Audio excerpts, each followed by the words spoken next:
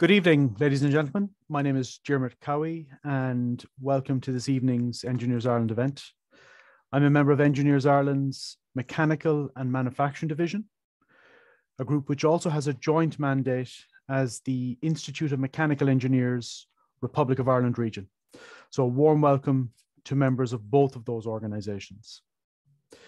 Before we start this evening's event, just a few points of housekeeping. Please do not post questions to the chat function. Please post questions to the Q&A function on Zoom.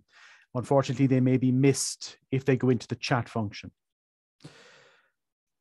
Our next event will be this group's AGM around May 25th. It is open to all members. New committee members are always welcome. It's a great opportunity for networking and for continuous professional development. So I strongly consider you, uh, strongly encourage you all to consider attending and joining the committee. And finally, for the start of the new season in September, the next event will be a virtual site visit to Lufthansa Technik in Shannon. Barry Lowe is organising that event, and you're all very welcome to join us online when that is scheduled in September. So now I will hand over to Professor Orla Feely for this evening's event. Thank you very much. Thank you very much, Dermot, and thanks for all that you have done to bring this event together, uh, along with your colleagues in the Mechanical and Manufacturing Division and, of course, the IMechE division in Ireland. Um, thanks to Maureen Niengus in, in Clyde Road, who's helped out with organising it, and of course, thanks to our panellists. So we have uh, four very distinguished panellists who'll be sharing three presentations between them. You'll see how that's going to work uh, over the course of the, the of proceedings. Um, then we'll have a round table where I'll put questions to the panelists. And then finally, we'll go and take the Q&A from the audience. So please do, if you have any questions or comments based on what you're hearing, please do uh, submit them in the Q&A box. So our first speaker then is uh, Leo Clancy, who, as you know, is an engineer, is CEO of Enterprise Ireland. Unfortunately, Leo was unable to join us this evening, but was very keen to be able to participate in some way. And so he has sent us this video that will now kick us off. So Dermot, you're going to play the video. Good evening, everyone. It's a privilege to be here today, albeit virtually, and I'm delighted to be invited to address your event.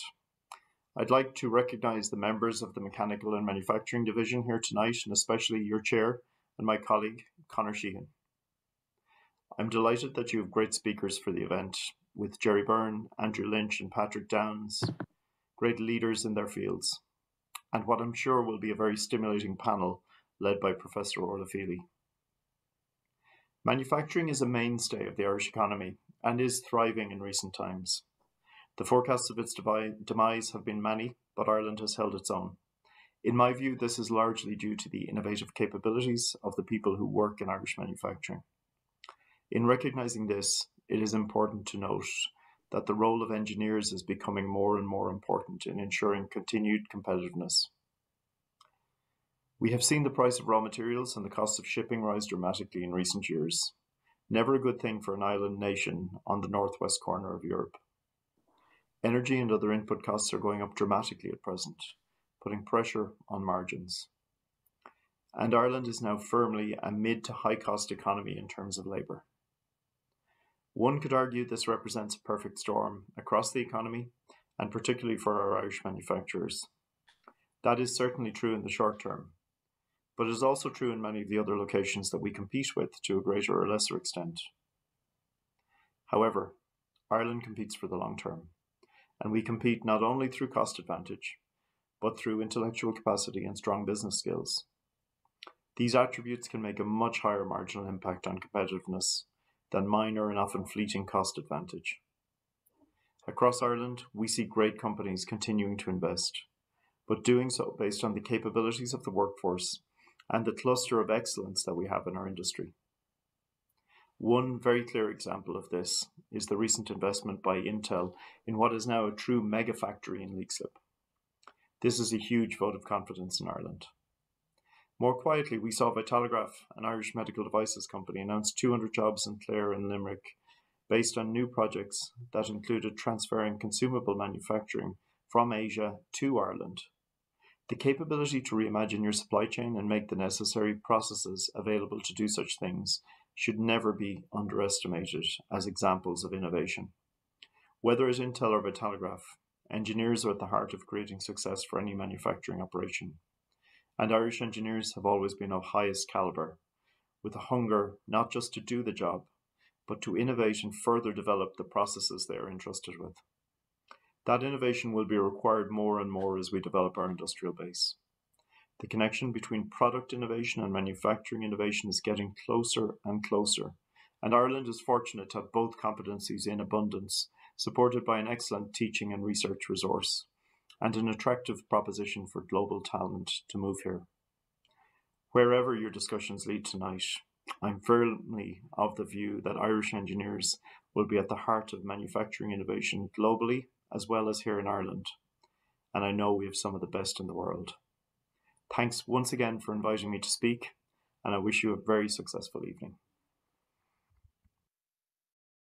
That's great, and, and, thanks very much to Leo for those words. Who, who and I think he introduced there a few themes that we're going to pick up on over the course of the evening: supply chain pressures, cost pressures, and also our dependence on talent, and and our dependence, of course, on engineering. So a number of, of themes there that, like I say, we'll be elaborating on maybe by our speakers individually and certainly on the roundtable. So I'll now hand over to the first of our speakers, who is Pat Downes. Pat is the Business Development and Innovation Manager in Design Pro Automation. He is a Bachelor of Engineering focused on mechanical engineering from the Institute of Technology Sligo. And uh, he has uh, 17 years experience of working as a toolmaker, senior mechanical design engineer, and as an engineering manager across a wide, across a wide range of mechanical and industrial engineering industries. So Patrick, I'll hand over to you now. Thanks very much, Orla. Um, I'll just share my screen. I have a presentation. Can you see that?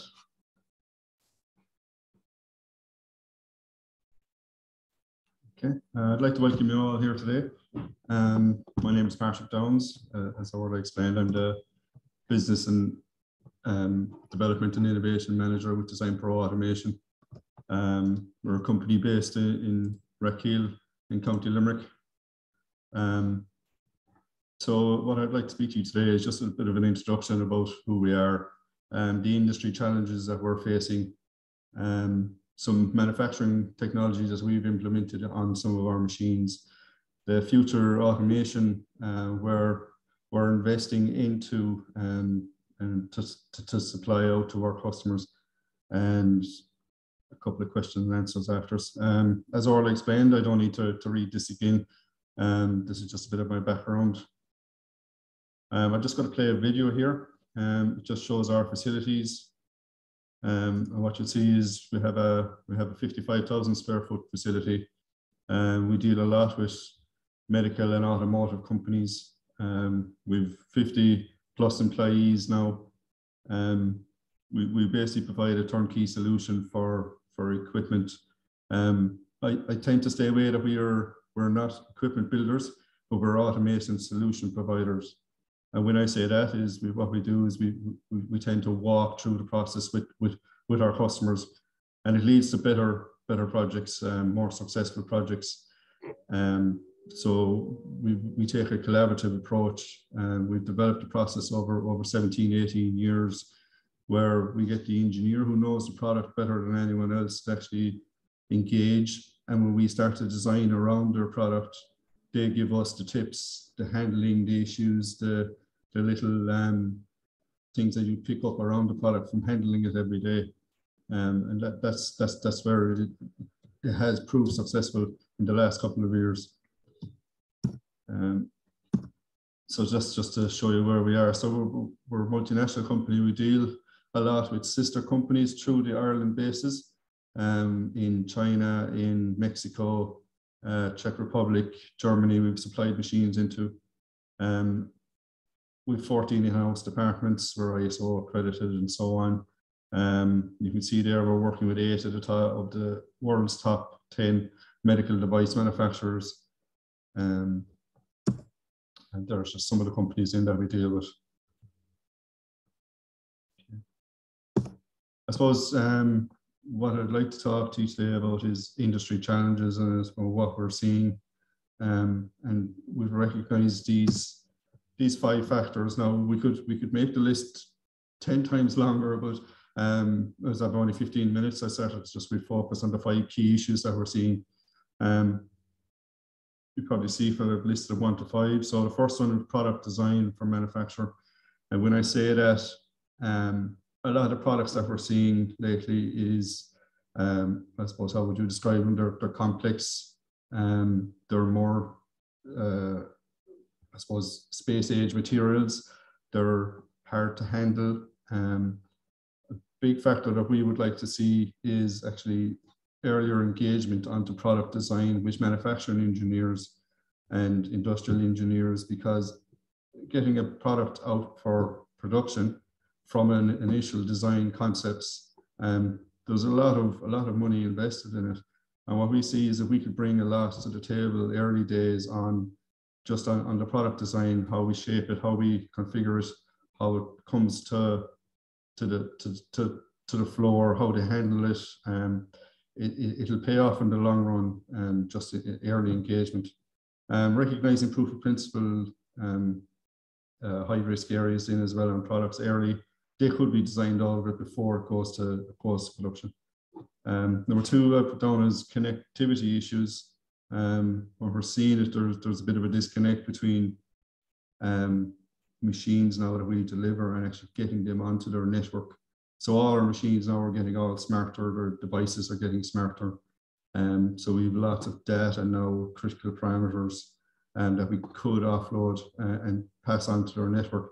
And what we're seeing is that a lot of firewall and security issues are popping up now, and we have to do workarounds on the machines to get in.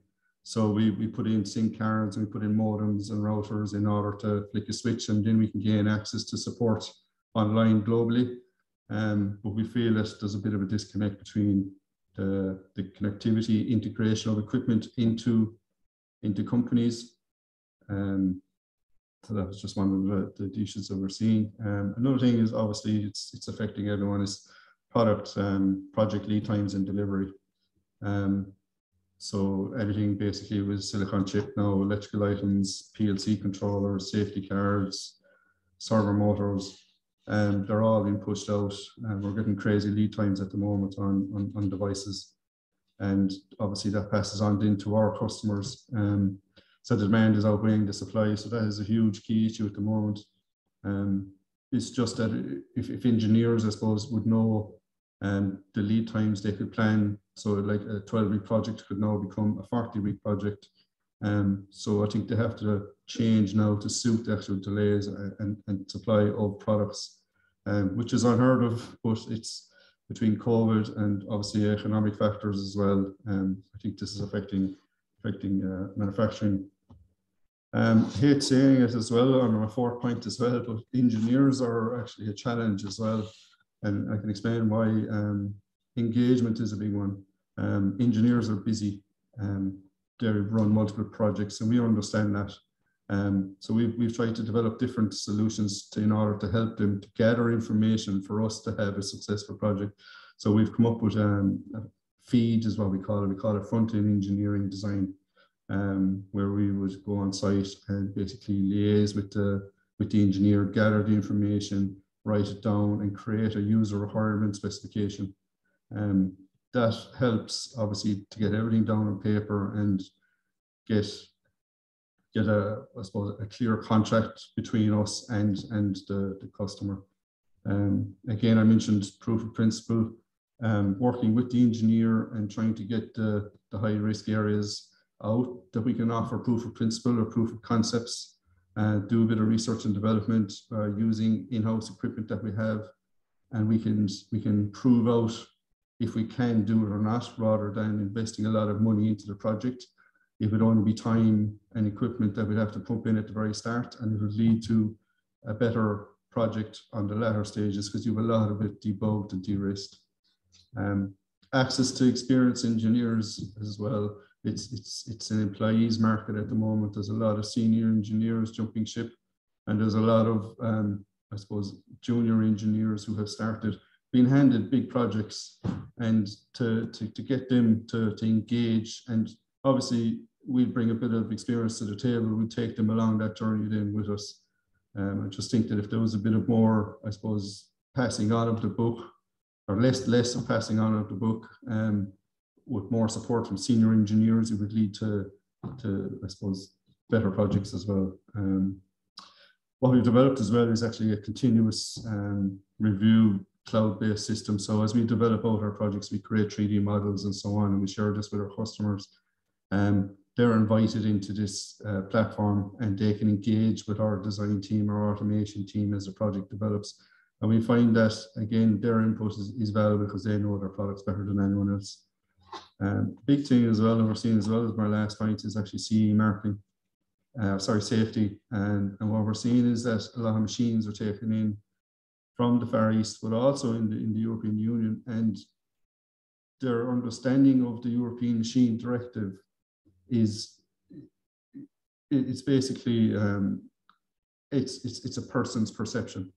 So we provide risk analysis and um, we have a, a, a later CE marking software and we do risk, risk analysis on the high risk areas and so on.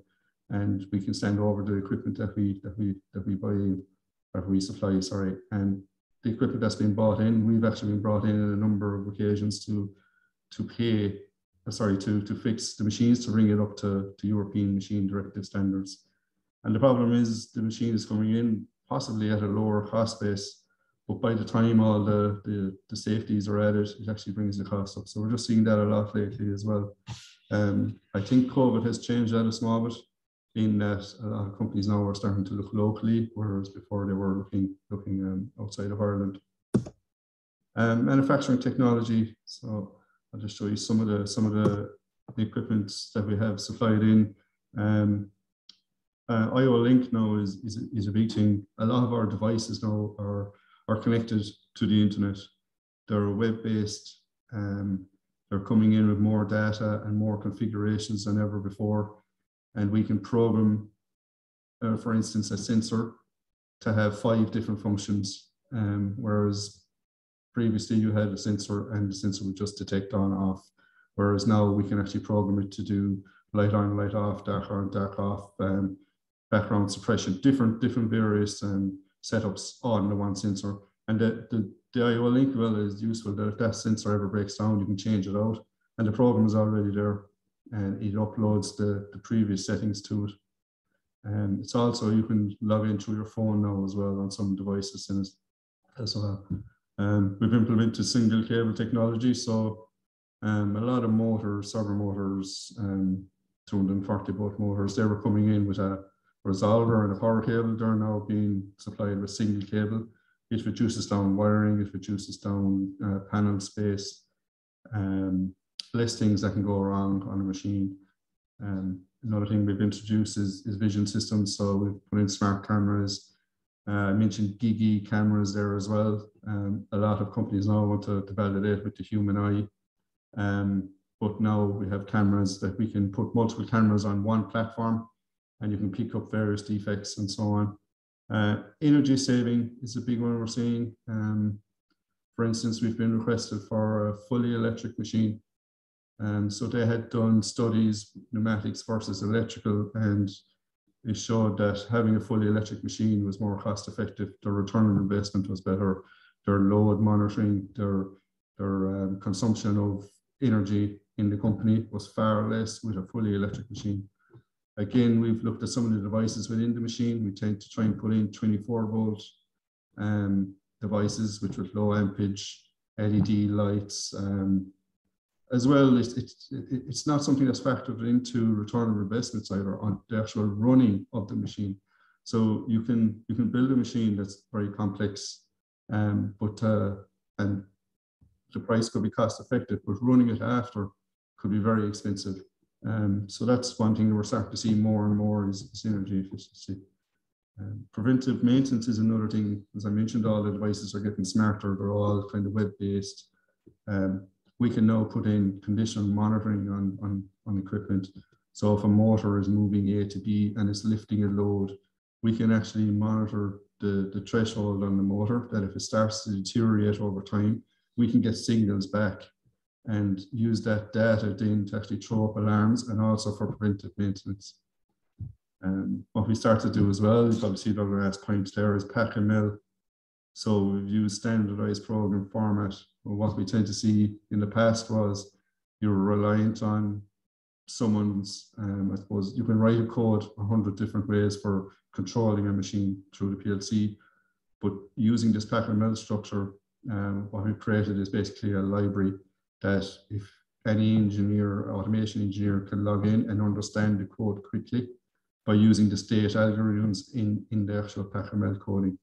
Um, that's, that's another thing that has been coming up lately. Future automation, and I suppose what we're investing in and what we're looking at um, in order to, to bring our machines to the next stage is I mentioned a, a, logo line here of smart devices and smart engineers. So the engineer has kind of changed from uh, the nuts and bolts to a lot of it is data integration and communication between different devices. So I mentioned everything is web-based. They're coming in with more data um, and are more readily available. So our engineers need to move with that. Um, one thing as well that we started to supply is actually VR headsets.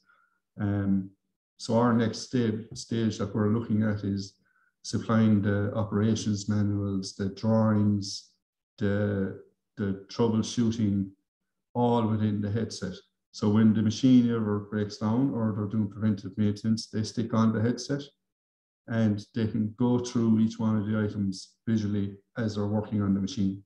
Another good thing is well, we can dial into the machine through the eyes of the engineer globally, and we can actually direct and train the operator to debug the machine to get it back up and running and get production going again. Um, I mentioned Industry 4.0 and digital twins, and I know Industry 5.0 has been mentioned. Um, well, Industry 4.0 to us is, is, is, is Internet of Things, and I know I mentioned Internet of Things, but what we've looked at is we've looked at putting a master PLC where we can control multiple machines off that PLC, cloud-based. Uh, so that's that's something we are looking at. Vision systems are now coming in with AI, artificial intelligence, where um, they can pick up on products and they will train them themselves to basically pick up defects, but it does it over time. So it picks up on differential changes on the product and then through an algorithm then works out what is the change and if that is a fail or a pass. Um, so we started implementing um, some of those vision systems we have them in our, our R&D lab.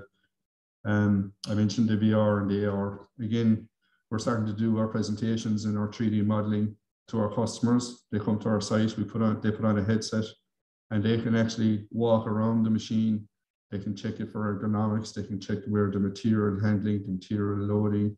They can check where the product comes out. They can visually check the aesthetics. Um, it's proven, proven very successful in finding issues. Um, so that, that that's a great um, addition that we're finding. App-based um, PLC and robotic programming. Again, I mentioned that earlier. Um, everything now is like it's going to be like your mobile phone.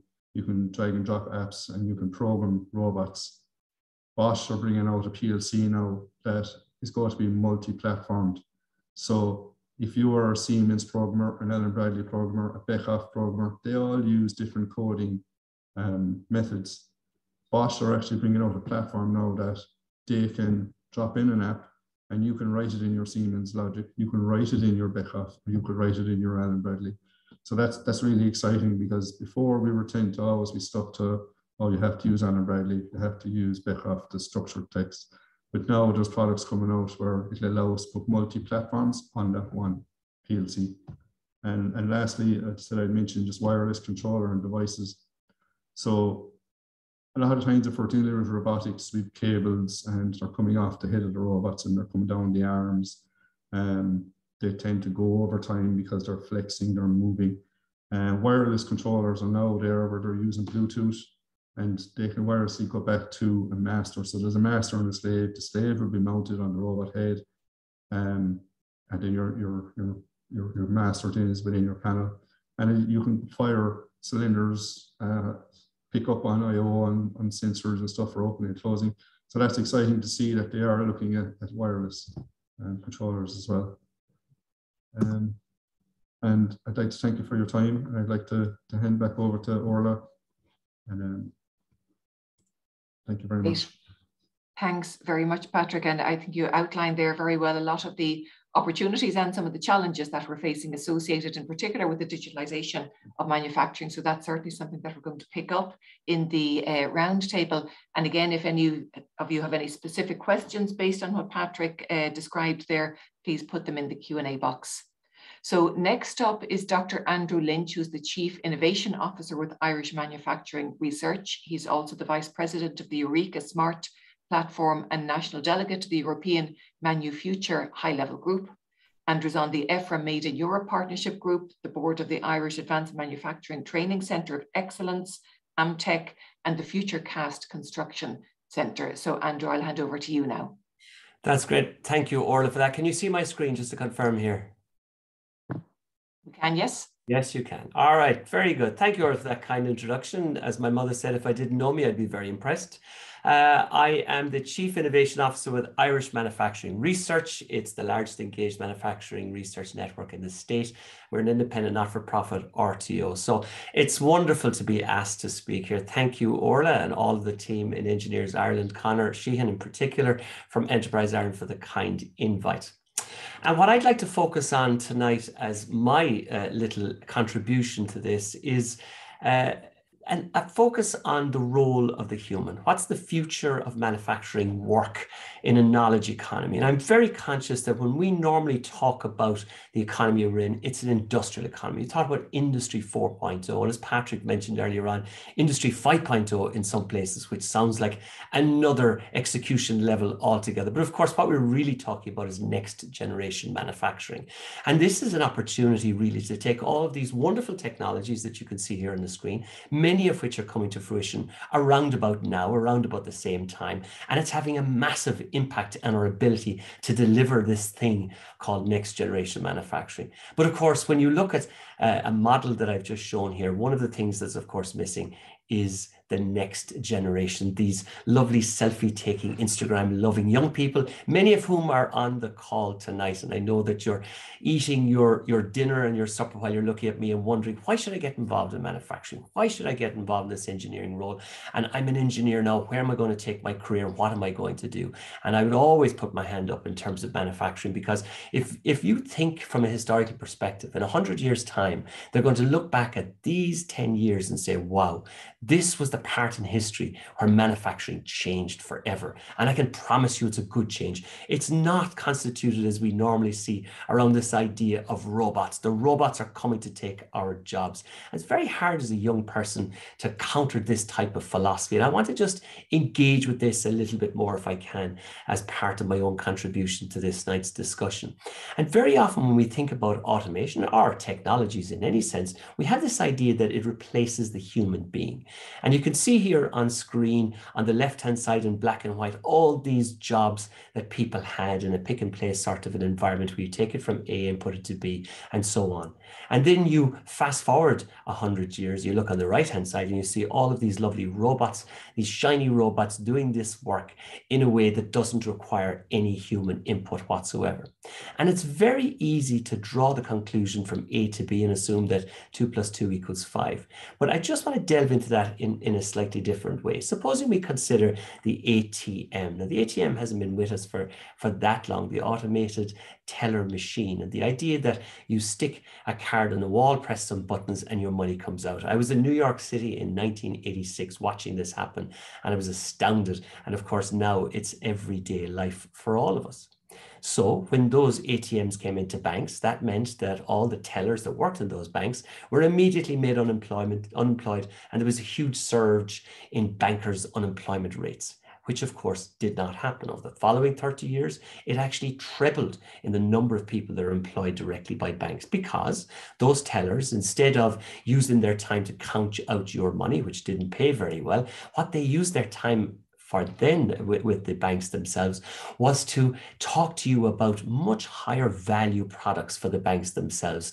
Things like mortgages and credit cards and car loans and all these things. And what actually happened was the cost of opening a bank in a location actually went very, very low, comparatively speaking, which meant it proliferated the number of banks that were out there, which of course in turn uh, made sure that we had an awful lot more employment for those kind of banks. So what does the human being bring to this technological revolution? And of course, you know, if all of our technology is running really, really well, the part that the human is responsible ultimately will become that piece, the vital cog, if you like, in any industrial setting. And of course, what we bring to this is concepts like innovation and this idea of robust thinking. If you listen to Margaret Heffernan and some of her speeches on, on YouTube, for example, she talks about, you know, this idea that we're now creating uh, vaccines for viruses that don't exist. And this idea is this type of ideation comes very much from a human psyche perspective. But we do know that machines are catching up. And I think this is always a dichotomy that we have as a member of the human race. I remember sitting with my dad in 1997 and watching Gary Kasparov lose to Big Blue after 17 moves. It was shocking. And of course, this was the idea that IBM had built a supercomputer that could beat the world champion in chess. But of course, what they had done was they looked at all of the finite possibilities that Kasparov could have taken, and they built strategies against that, and they eventually beat him. What's even more impressive is over the last number of years, Google have set up this AlphaGo team, and AlphaGo set about beating the world Chinese game of Go champion. And Go is a very different game to chess in terms of how it's structured. It's much more intuitive. In fact, after only six moves, the number of potential moves thereafter is more than the atoms in the known universe. In other words, it's infinite. So now you have a computer which is uh, if you like, ideating and building and learning, very like a human intuition. So again, as a human being, you're looking at this and saying, well, am I really like the horse from 150 years ago? 100 plus years ago, there was over a million horses in Ireland. Now there's only a couple of thousand of them. They're playthings for, for very wealthy people. But this is a change that we've seen coming down the line. And one of the really interesting ideas that, that I think we could look back into history of, this idea that came from uh, David Sluis in the 1870s. He was a, a British economist who was looking looking at this idea of the new technologies for his time coming into being. And he was in a dockyard one day and he was looking at this gentleman who was working on one of these presses, these hand presses, that was belting out little washers. And the guy in the press was very depressed. And when he had a conversation with him, what he realized the guy was saying was that my friends, my family, my neighbors, they no longer have jobs because I'm operating this press. I'm doing okay. But most of these people will not have work and it will really, really impact their families. They could die. And what Sluis proved over a period of years that this wasn't actually the case. Because now, due to that automation of its day or that technology of its day, the cost of making that particular washer plummeted.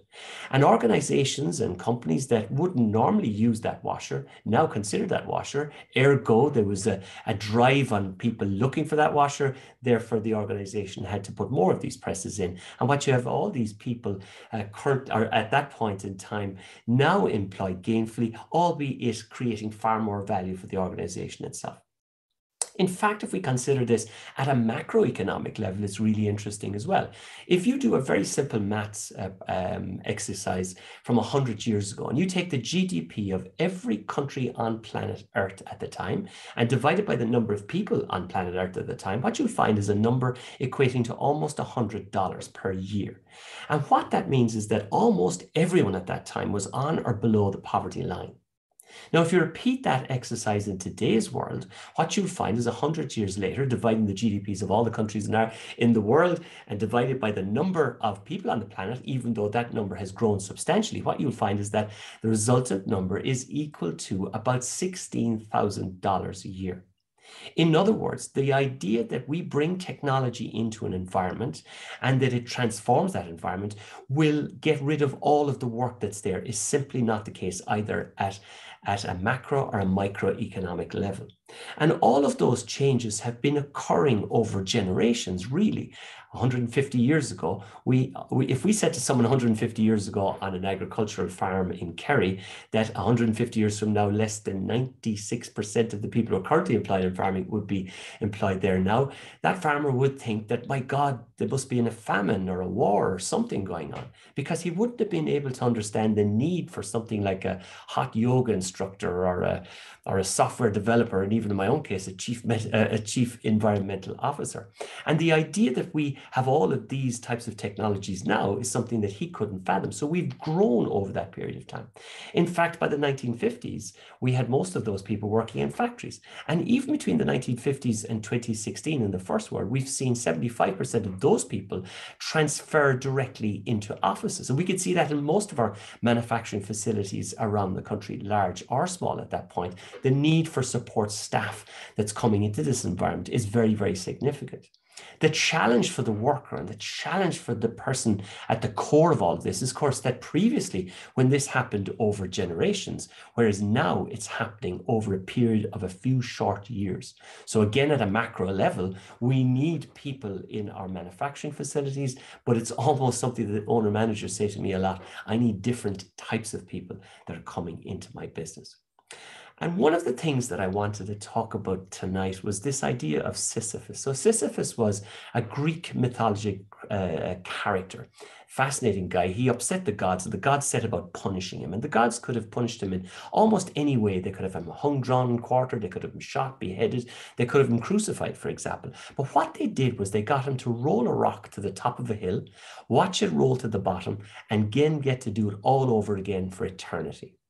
And the real question we need to ask ourselves as an engineering community in this country and beyond is how many of our fellow human beings and our colleagues are working in roles in our organizations right now that are Sisyphean in principle.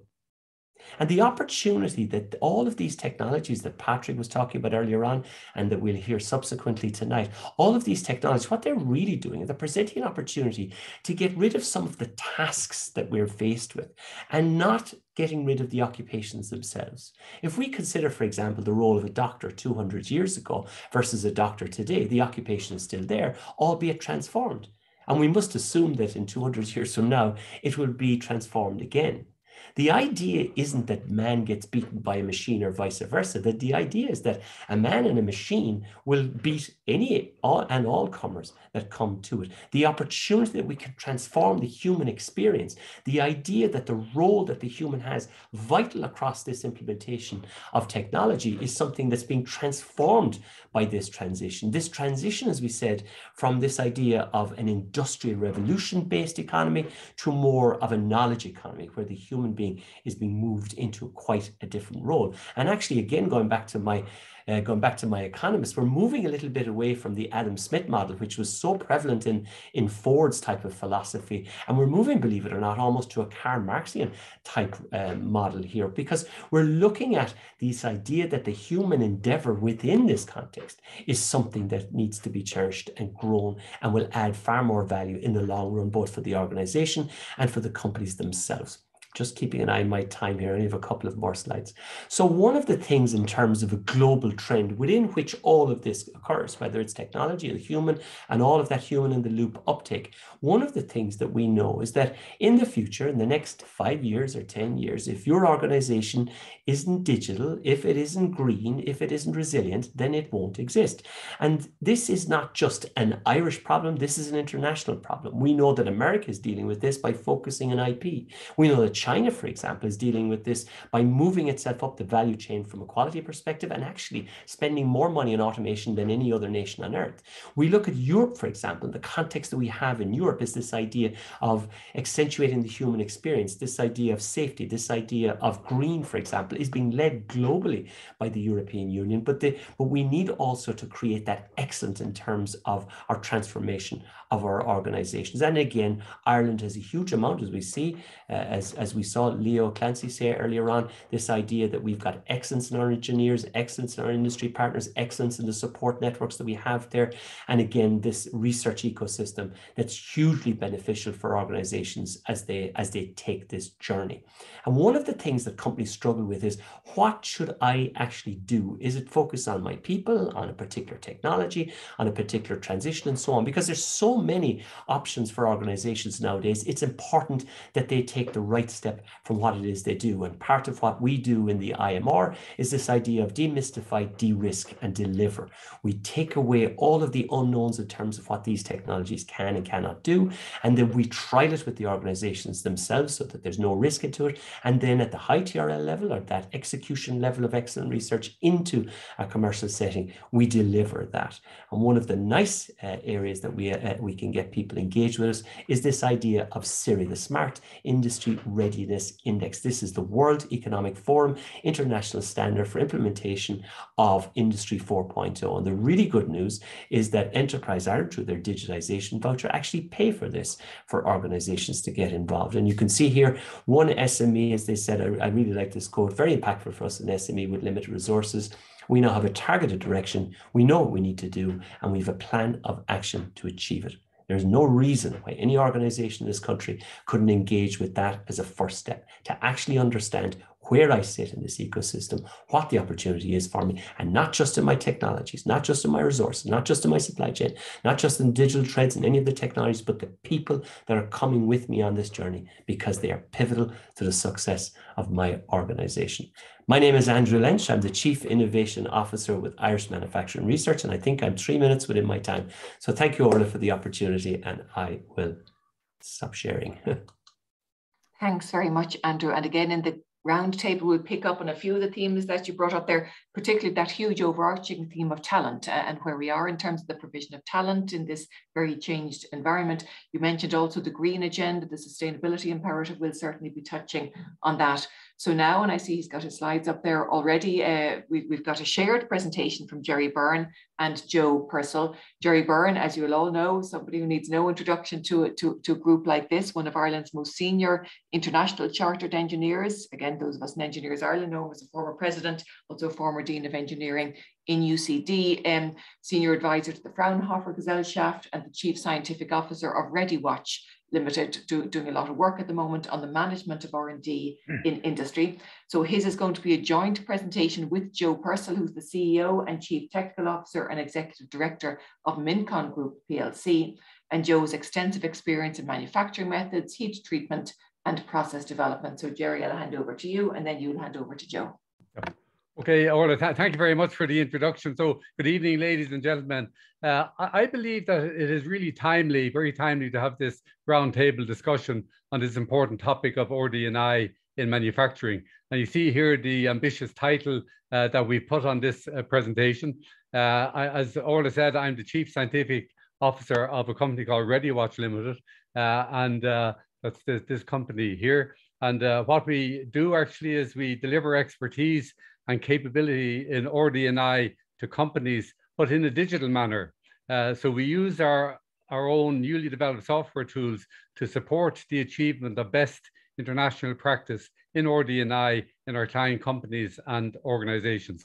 So in this very short uh, two-part talk, uh, where to next for RD&I in manufacturing, myself and Joe Purcell, the CEO of Mincon PLC, uh, that's a, a, global engineering company specializing in rock drilling. Uh, we're presenting uh, this case study here tonight. Uh, so um, in this next slide, we've heard Industry 4.0 and 5.0, uh, and I'm using this one here as well. Uh, I just kind of like this slide. It's, it shows historical transitions across the different industrial revolutions. and I think if you note on the y-axis here, on the right side, the degrees of complexity uh, the color dots there, uh, they uh, you see that it's a non-linear scale of complexity, and I think complexity is really a central theme for us as we progress now into the future. I think we all know that we are truly in a stage of massive societal uh, and industrial transformation. And indeed, I, I, would even you know, when you hear, see the difficulties that we're having with supply chains, I would even say turbulence. We're in a stage of turbulence at the moment. Uh, we do know that the Earth's average temperature has risen by 1.1 degrees centigrade compared, compared to the pre-industrial era. Uh, and we're rapidly approaching the World Meteorological uh, Organization yesterday reported we're tipping in and out of the of the 1.5 degrees as we stand or you know in the very near future so there's a serious uh, challenge uh, with i suppose a, a, very hard line limit uh, 1.5 degrees and absolute worst case scenario of, of two degrees. So uh, decisive action is needed uh, to bring this situation under control. And uh, is it fair to say that it's not under control? So uh, I'm going to make eight points in my presentation. This the first point is uh, that the sustainability targets as legislated for, they do represent perhaps the greatest challenge of the 21st century. Uh, interesting when you look more closely, never before, I think, during the course of this journey across the various industrial revolutions have we had uh, absolutely specific numbers. Uh, so other uh, industry one, two, three, uh, four, uh, the specific numbers weren't present, but now we're working to very specific targets. Uh, and I suppose my second main point then is that because of these very specific targets, new demands and approaches to technology development are emerging. So this will have an influence on technology development. Uh, and that will they will be different to those of the past. And I think we have to adapt to this new situation. Um, it is now clear and generally widely accepted so that it is really not business as usual. Uh, and uh, so my third point is that, uh, an indicator on this slide, uh, uh, we, re we urgently need this step change in innovation capability in this country. and we need new models of innovation to meet legally binding targets and the changing customer expectations and demands that we have going forward. And uh, we as engineers, we have very significant societal responsibilities uh, here. Uh, we know that the roadmap for this achievement, uh, for the achievement of a step change in innovation, the roadmap currently is immature. Uh, it's actually diffuse, and indeed, it's very difficult to formulate this, this roadmap. So it is a complex in nature and will be challenging for us to implement but we must get there. And so the old non-digitalized models of innovation are out of date. We need new models and these should be built within an overall framework uh, of the relatively new innovation management standard, the ISO 56002, which was, was uh, published in 2019. Uh, and these models then, they must be integrated through digitalization uh, and new software tools are needed to support this. And as we will see uh, from uh, Mincon, Mincon later on, this case study shows considerable progress in this direction. Uh, just staying with this step change for, for a moment, uh, another aspect that is emerging, and this is uh, my fourth main point, that the traditional meaning and definitions of value creation and also a business success in companies, are they, are they still valid or are they no longer valid? The CTO of BASF recently presented the case, made the case that they're no longer valid value creation and business models. It's not the same as, as it was in the past. So uh, the impacts uh, on business plan development of companies and on enterprise strategic planning processes, these are hugely important issues and ones that we need to focus uh, come in, uh, let come into focus for us to develop our companies uh, going forward. Uh, just let me mention uh, core technologies and international best practice. And by definition, the fundamental role of R&D is to create new knowledge as seen from a global perspective and is specifically related to the core technologies of companies. Uh, there is an increasing necessity to place a, a, a stronger focus on core technology development of the companies and to lifting the international body of knowledge in the company's core technologies through high quality RD and I programs and partnerships with national, but also very important with the international ecosystems for RD and I is absolutely vital here. And Mincon have already identified this and are progressing their core technologies, as we will shortly hear, uh, with very close relationships with our customers and then with the RD&I ecosystems, for example, through their work with the SFI iForm Centre, and also through a recent award of an Enterprise Ireland DTIF funded project in micropiling and in offshore uh, applications. So um, my fifth point is that the topic of global best practice in RD&I in industry, it is an absolutely central theme for us going forward. Uh, and we need to turn, I believe, we need to turn the dial up in this regard and to move more forcefully to continue to build uh, an even more internationally connected, integrated RD&I ecosystem based out of Ireland. Uh, Mincon is on this, this journey to implement global best practice. My, my sixth point, uh, and before I finish, uh, just a brief comment uh, on technology transfer. transfer. And we believe that the conversation and the nature of interactions between industry, RTOs, and the universities and the funders of uh, research, because of the implications of what I'm saying, it has to be different going forward. It's not, it's not business as usual. Uh, and the technology transfer happens through people and the availability of well-trained people in the methodologies and the management of RD&I. And I think that's the central theme that we might discuss now in a few, a few moments. So my, my, my second last point is that uh, new innovation models as they emerge, they will impact on the RD&I ecosystem and on technology transfer. Uh, we know that the management of RD&I centres, uh, such as the gateways and of the technological universities, the EI, Enterprise Ireland Technology Centres, the SFI research centres, uh, and other centres have very ambitious targets uh, also for industry income generation.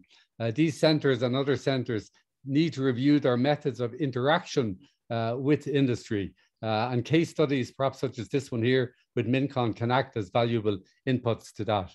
Uh, finally, to my, my last point, uh, digitalization of RD&I for real-time governance and management processes, they will play a critical role in going forward uh, and for achieving this step change.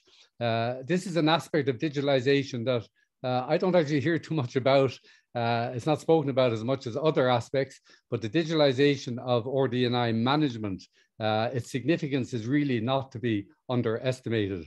Uh, and uh, Mincon and, and ReadyWatch are implementing a digitalized RD&I management system.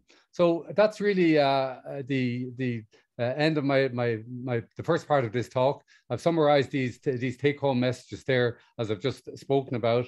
Uh, and I very much look forward to the, the, discussion now after this. And I now pass the word over to Joe Purcell, the CEO of Mincon. Thank you very much. Thanks, Gerry. I'm just going to request control there. I approve, do I? Yeah, oh, yeah I do. Yeah, yeah, yeah you got it. yeah, man. Okay. Okay. Yeah, so just briefly take you through uh, a bit of a history of, of Mincon. Um, we started off in 1977. Uh, my parents, Paddy and Mary Purcell, started the business. Uh, I was 11 at the time, and I've worked in the business ever since in one form or another. Um, through the 80s, uh, we started manuf- started designing and manufacturing our own products. Um, I finished a mechanical engineering degree in 1988. And uh, through the 90s, I moved down to Australia and was involved in product development for reverse circulation hammers for uh, exploration drilling for mineral exploration.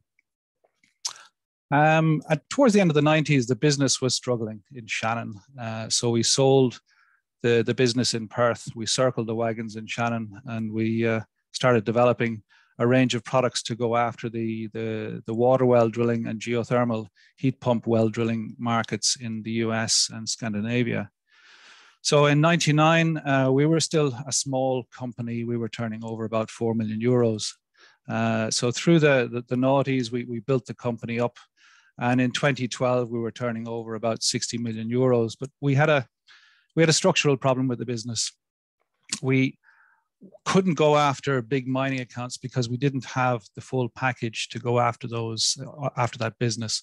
We also had an issue where we had about 50% of our business was direct to the end user and 50% was through distribution. And in a lot of cases, the miners wouldn't deal with uh, with uh, distribution. They want to deal with original equipment manufacturers. So we decided in 2013 to do an IPO. Uh, we raised a chunk of money to uh, basically develop the business through acquisition and organic uh, means. So since that time, we have uh, done acquisitions of manufacturing businesses. We've uh, done uh, we, we've acquired customer service footprint as well. So today, where we stand, we've got a we've got a platform for growth. Um, we've added factories to the group. We've got nine factories around the world and an extensive customer service footprint. And today, 77% of the business we do is direct, uh, the balance through distribution. And we've more than doubled our turnover, but we're only getting started. Um, that's that's that's the, the really the point I'd like to make. We're only getting started. Um, so, you know, the challenge in front of, of everybody is, is how do we minimize our carbon footprint? Um, you know, looking at Mincon, we're investing in new plant and equipment. We're currently going through a process and a, and a project to replace our heat treatment equipment in Shannon, which reduces the energy requirement of our heat treatment by 80%, uh, which is a big, big reduction. Our customers, uh, you know, if the world is to achieve its ambitions around carbon reduction, that means mining. You know you need that means copper that means battery metals that means iron ore. Um, so we need to be able to mine that in the most efficient manner possible. Uh, so our customers need better drilling systems more efficient drilling systems. Uh, if you look as jerry mentioned there we did get approved for a dtif grant for uh, mooring of offshore uh, wind, wind installations that's a uh, that's a very exciting project, and I'll speak more about that later. We're also involved in uh, bespoke drilling packages for solar field uh, installations for anchoring of solar fields. So the challenge in front of us is to basically continually develop uh, the current range that we have today, continuous improvement, to develop new products, and also to look at new technologies, new technology development so we have a, a, team of engineers in, in Shannon, uh, and and they're also they also work with our engineering teams in in the uh, in the manufacturing plants around the world.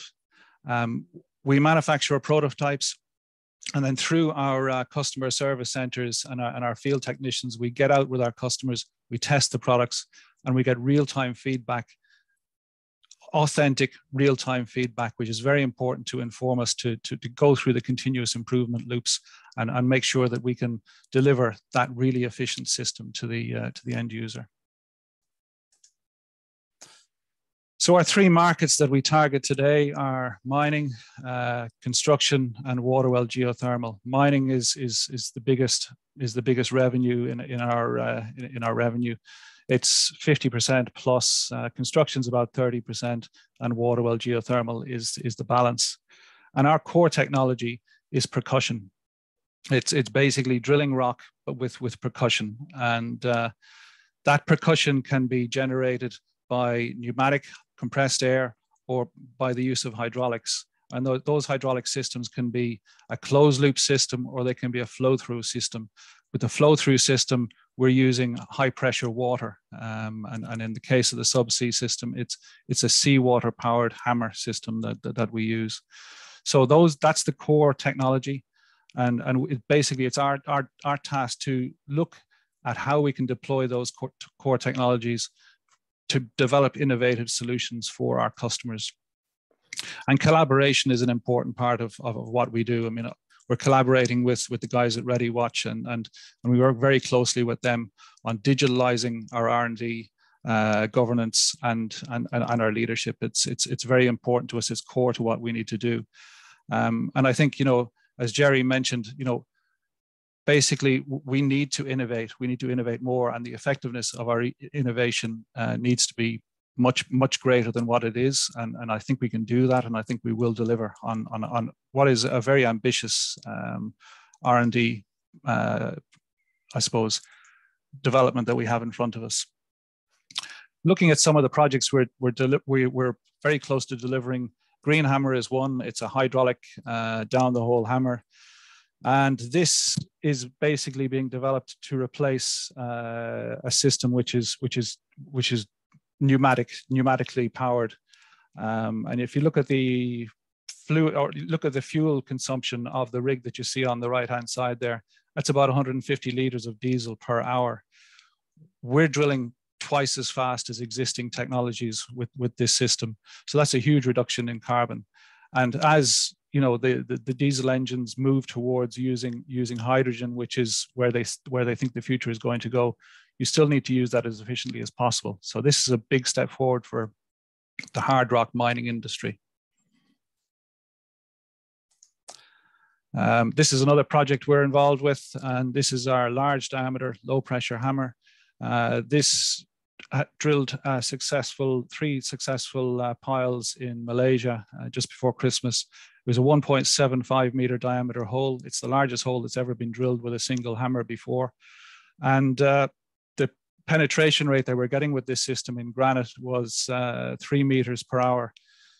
The rig that we use there was, is an 80 ton rig. Sounds big, but that replaced a system, a pile boring system, which uses a 300 ton plus rig. It's a huge rig, enormous energy requirement to run it. And the penetration rate they get with that is about one to two meters per day. So this is again a, a, a, big move forward for uh, for for the drilling industry for construction applications. And then finally, the uh, the subsea project that, that Gerry mentioned. Uh, if you think of the the ambition that's out there towards uh, offshore wind installations, it's it's enormous. One of the big challenges they need to do is how they're going to moor these things to the seabed. You need a very efficient way of doing it we believe we, we, we will develop a, a, really nice, elegant solution for that.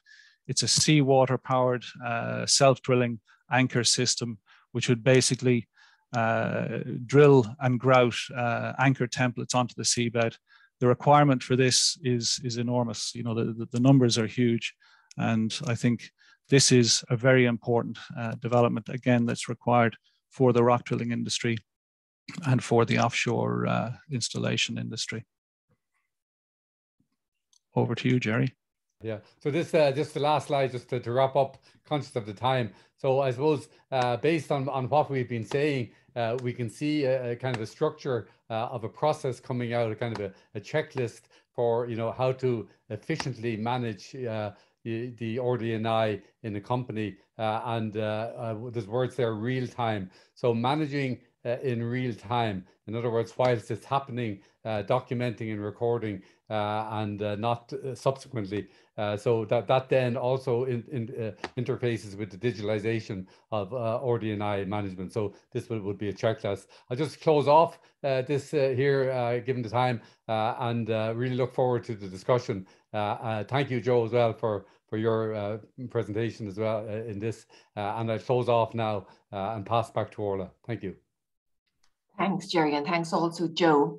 Uh, so thanks to all for your presentations. And now let's uh, start to tease out some of the issues that you raised there. So we, will talk first in, in, our virtual table here around our virtual table, and then we'll bring in questions that come in in the Q&A. And again, very much encouraging people who have questions or comments to put them there in the Q&A box. So Gerry, I very much liked the slide that you finished on, which said, you know, what can my company do today? Because that's where I was going to begin. So if we look first of all in digitalization, this, you know, extraordinary transformation of, of the world in so many ways. And, and the fact that you know people working in various uh, industries have this wave of information and data now available to them. And, and in many cases i expect struggling to understand how they can make sense of it and how they can secure competitive advantage off the back of it. So so if you take an SME, for example, that knows that there is an enormous amount of data associated with their process, what steps should they be taking? I mean, you, you described the steps that they're very broadly, Gerry, around, you know, RD&I capacity. Yes, Suppose yeah. someone wants to understand digitalization and how it applies in their business. What steps should they be taking in order to make sure they're making best advantage of digitalization? Mm -hmm. sure. And Gerry, or maybe Patrick, or anybody like might might like to jump in on that. Yeah, if you like, I'll, I'll just say say one or two thoughts that come to mind straight away. Uh, I, I, feel myself that uh, the uh, companies, particularly SMEs, uh, they uh, need to have uh, capability within the company. And given the scarce resource situation, having capability in digitalization to a you know a strong capability there that that needs to be, I suppose, it, need, it, it does need to be acquired. Uh, and uh, so I think, uh, Orla, the some of the uh, people coming out of the universities now, uh, you know, graduates coming out at master's and PhD level, and but also very importantly, I think coming out from the uh, the centers for doctoral studies and training. So people who have a high level of understanding uh, of this uh, world of digitalization uh, with good training behind them. Companies need them and they need them more and more, and they're a very scarce resource. I, I might bring Patrick in on this one also. Yeah, I agree with I agree with Ger there and what he's saying. Um, a lot of times you're dealing with an IT person in a company, then you're dealing with an automation engineer who can basically convert the data to give to the IT person. But he's right in what he's saying to actually link those two there. There is a missing person that can utilize that data the best. Now there is some companies that are coming up with platforms to, to utilize that that information. Um, so like all our machines now are actually heading that way. They're heading towards digital, the digital world. The devices now all have data that need to be captured. It's what they do with the data that's useful and, and presentable to, to managers, to engineers, to, to, to, to people in within those companies. And I, am reminded of a, a, conversation that I had recently. This was a discourse at the Royal Irish Academy with Professor Sir, Sir, Adrian Smith, who, among many other accolades, is the head of the Turing Institute, this very big data science institute in the UK. And he was making the point that data is now so pervasive in all domains that he would argue that everybody coming through a higher education system needs to know about data as it applies to their uh, sector. Because of course data science it's not the same as you know normal computer science it's not the same as software it's not the same as programming. You know it, it is the science of understanding vast amounts of data. So are we producing people out of engineering at the moment with that skill set not just in ict but in data science Anybody like to jump in on that, Andrew? Yeah. I'll, I'll take that. I think um, use of data analytics is a bit like teenage sex for me, Orla. It's uh, much talked about, but not an awful lot of it happening really. The, the real challenge that we have from an Irish perspective, and, and indeed right across Europe, is access to these types of people. But not only that, when we're talking to SME owner managers or large multinational, uh, multinational executives and so on, you can have a conversation around automation. It's very clear Here's what the automation piece does. There's your ROI, away we go. If we look at additive manufacturing, same profile of conversation. If we look at something like um, environmental impacts and so on, same thing. Analytics is a much harder sell. It's difficult to clearly articulate what it is that this type of process approach can take in an individual level. We know data is the new oil. We know that the engagement and interrogation of data is going to be the next transformative journey that these organizations are going to have to take, not just remember within the four walls of their building. This is something we really need to get together on. It's not just about interrogating our own processes, machines, and so on, as Patrick said there, but all the way right down through our supply chain. It's no longer adequate to have a supply chain in a linear fashion with a digital thread. That's already uh, passe. What we really need to have is uh, AI type, type of interfaces that can pull across uh, the, the spare capacity in different environments and pull it out and articulate that into a value chain network, if you like, that will deliver uh, impact for the organizations themselves. And these are the types of ideas that can only be transformed by the flow of data, which is already be, which is still being impeded. We have this 5G network type capacities, but it's still not at a network level.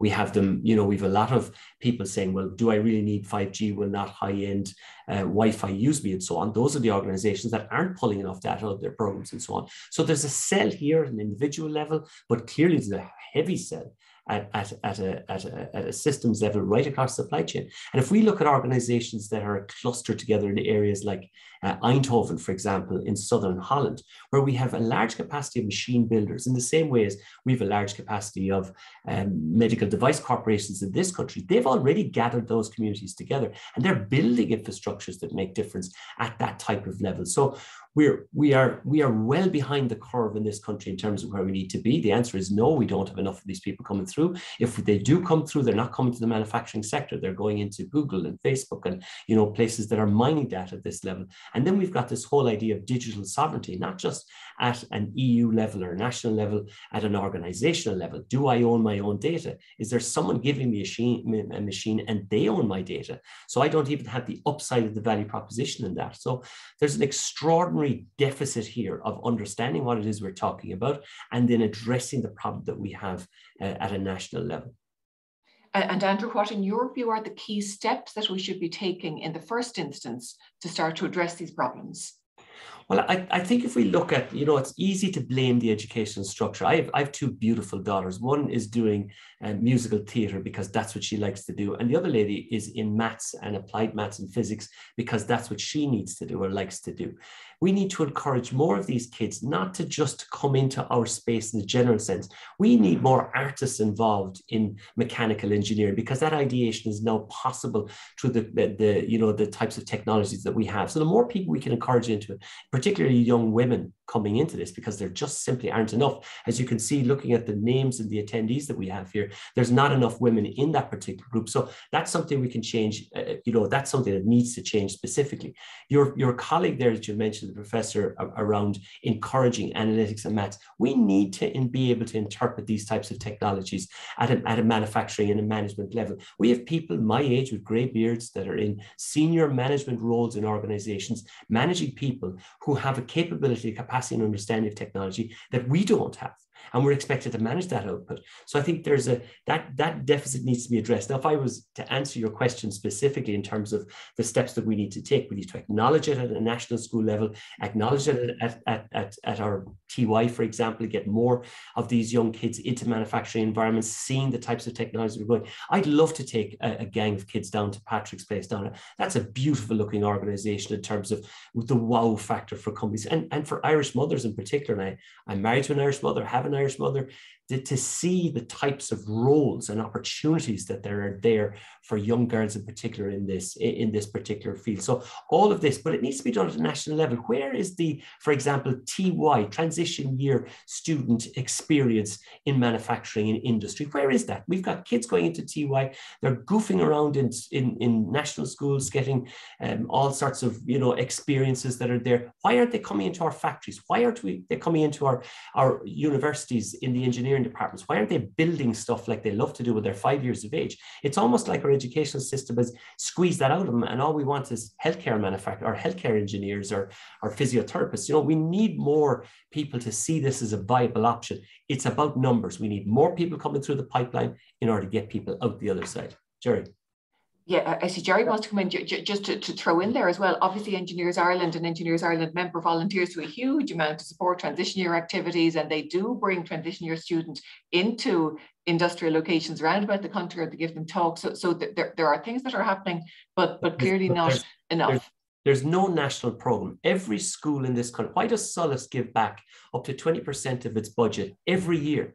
Why isn't there a requirement? Why don't we give schools or these kids credits in leaving cert? If you've gone out and you've spent four months or two months or whatever it is, you'll get 10 or 15 points in your leaving cert. I'm not talking about the ad hoc stuff. We do a huge amount. I had four and a half thousand kids through my institute last year alone during COVID. I mean, it, we're all doing Trojan work at a hero level. We don't need that. We need a policy that comes in and directs it right into those schools, right into the sixth class kids, for example. So before they ever go into secondary school, this is an option, particularly for our girls. Where's the joined up thinking at a national level on that? It isn't there. The funding isn't there. There's too much of the ad hoc stuff going on. And I, that would be, I'm not being critical of Engineers Ireland or indeed my own group or anyone else, but there just isn't joined up thinking in that, like you have, for example, in the German system and the Italian system. These are not, we don't have to learn this from new. We could just copy what's being done internationally. Okay, so Gerry, you've been waiting to come in on that. Uh, just, uh, I, I think I was back on the on the on the data side for a moment there. So uh, you know, this term uh, big data, uh, I think it's not about big data actually.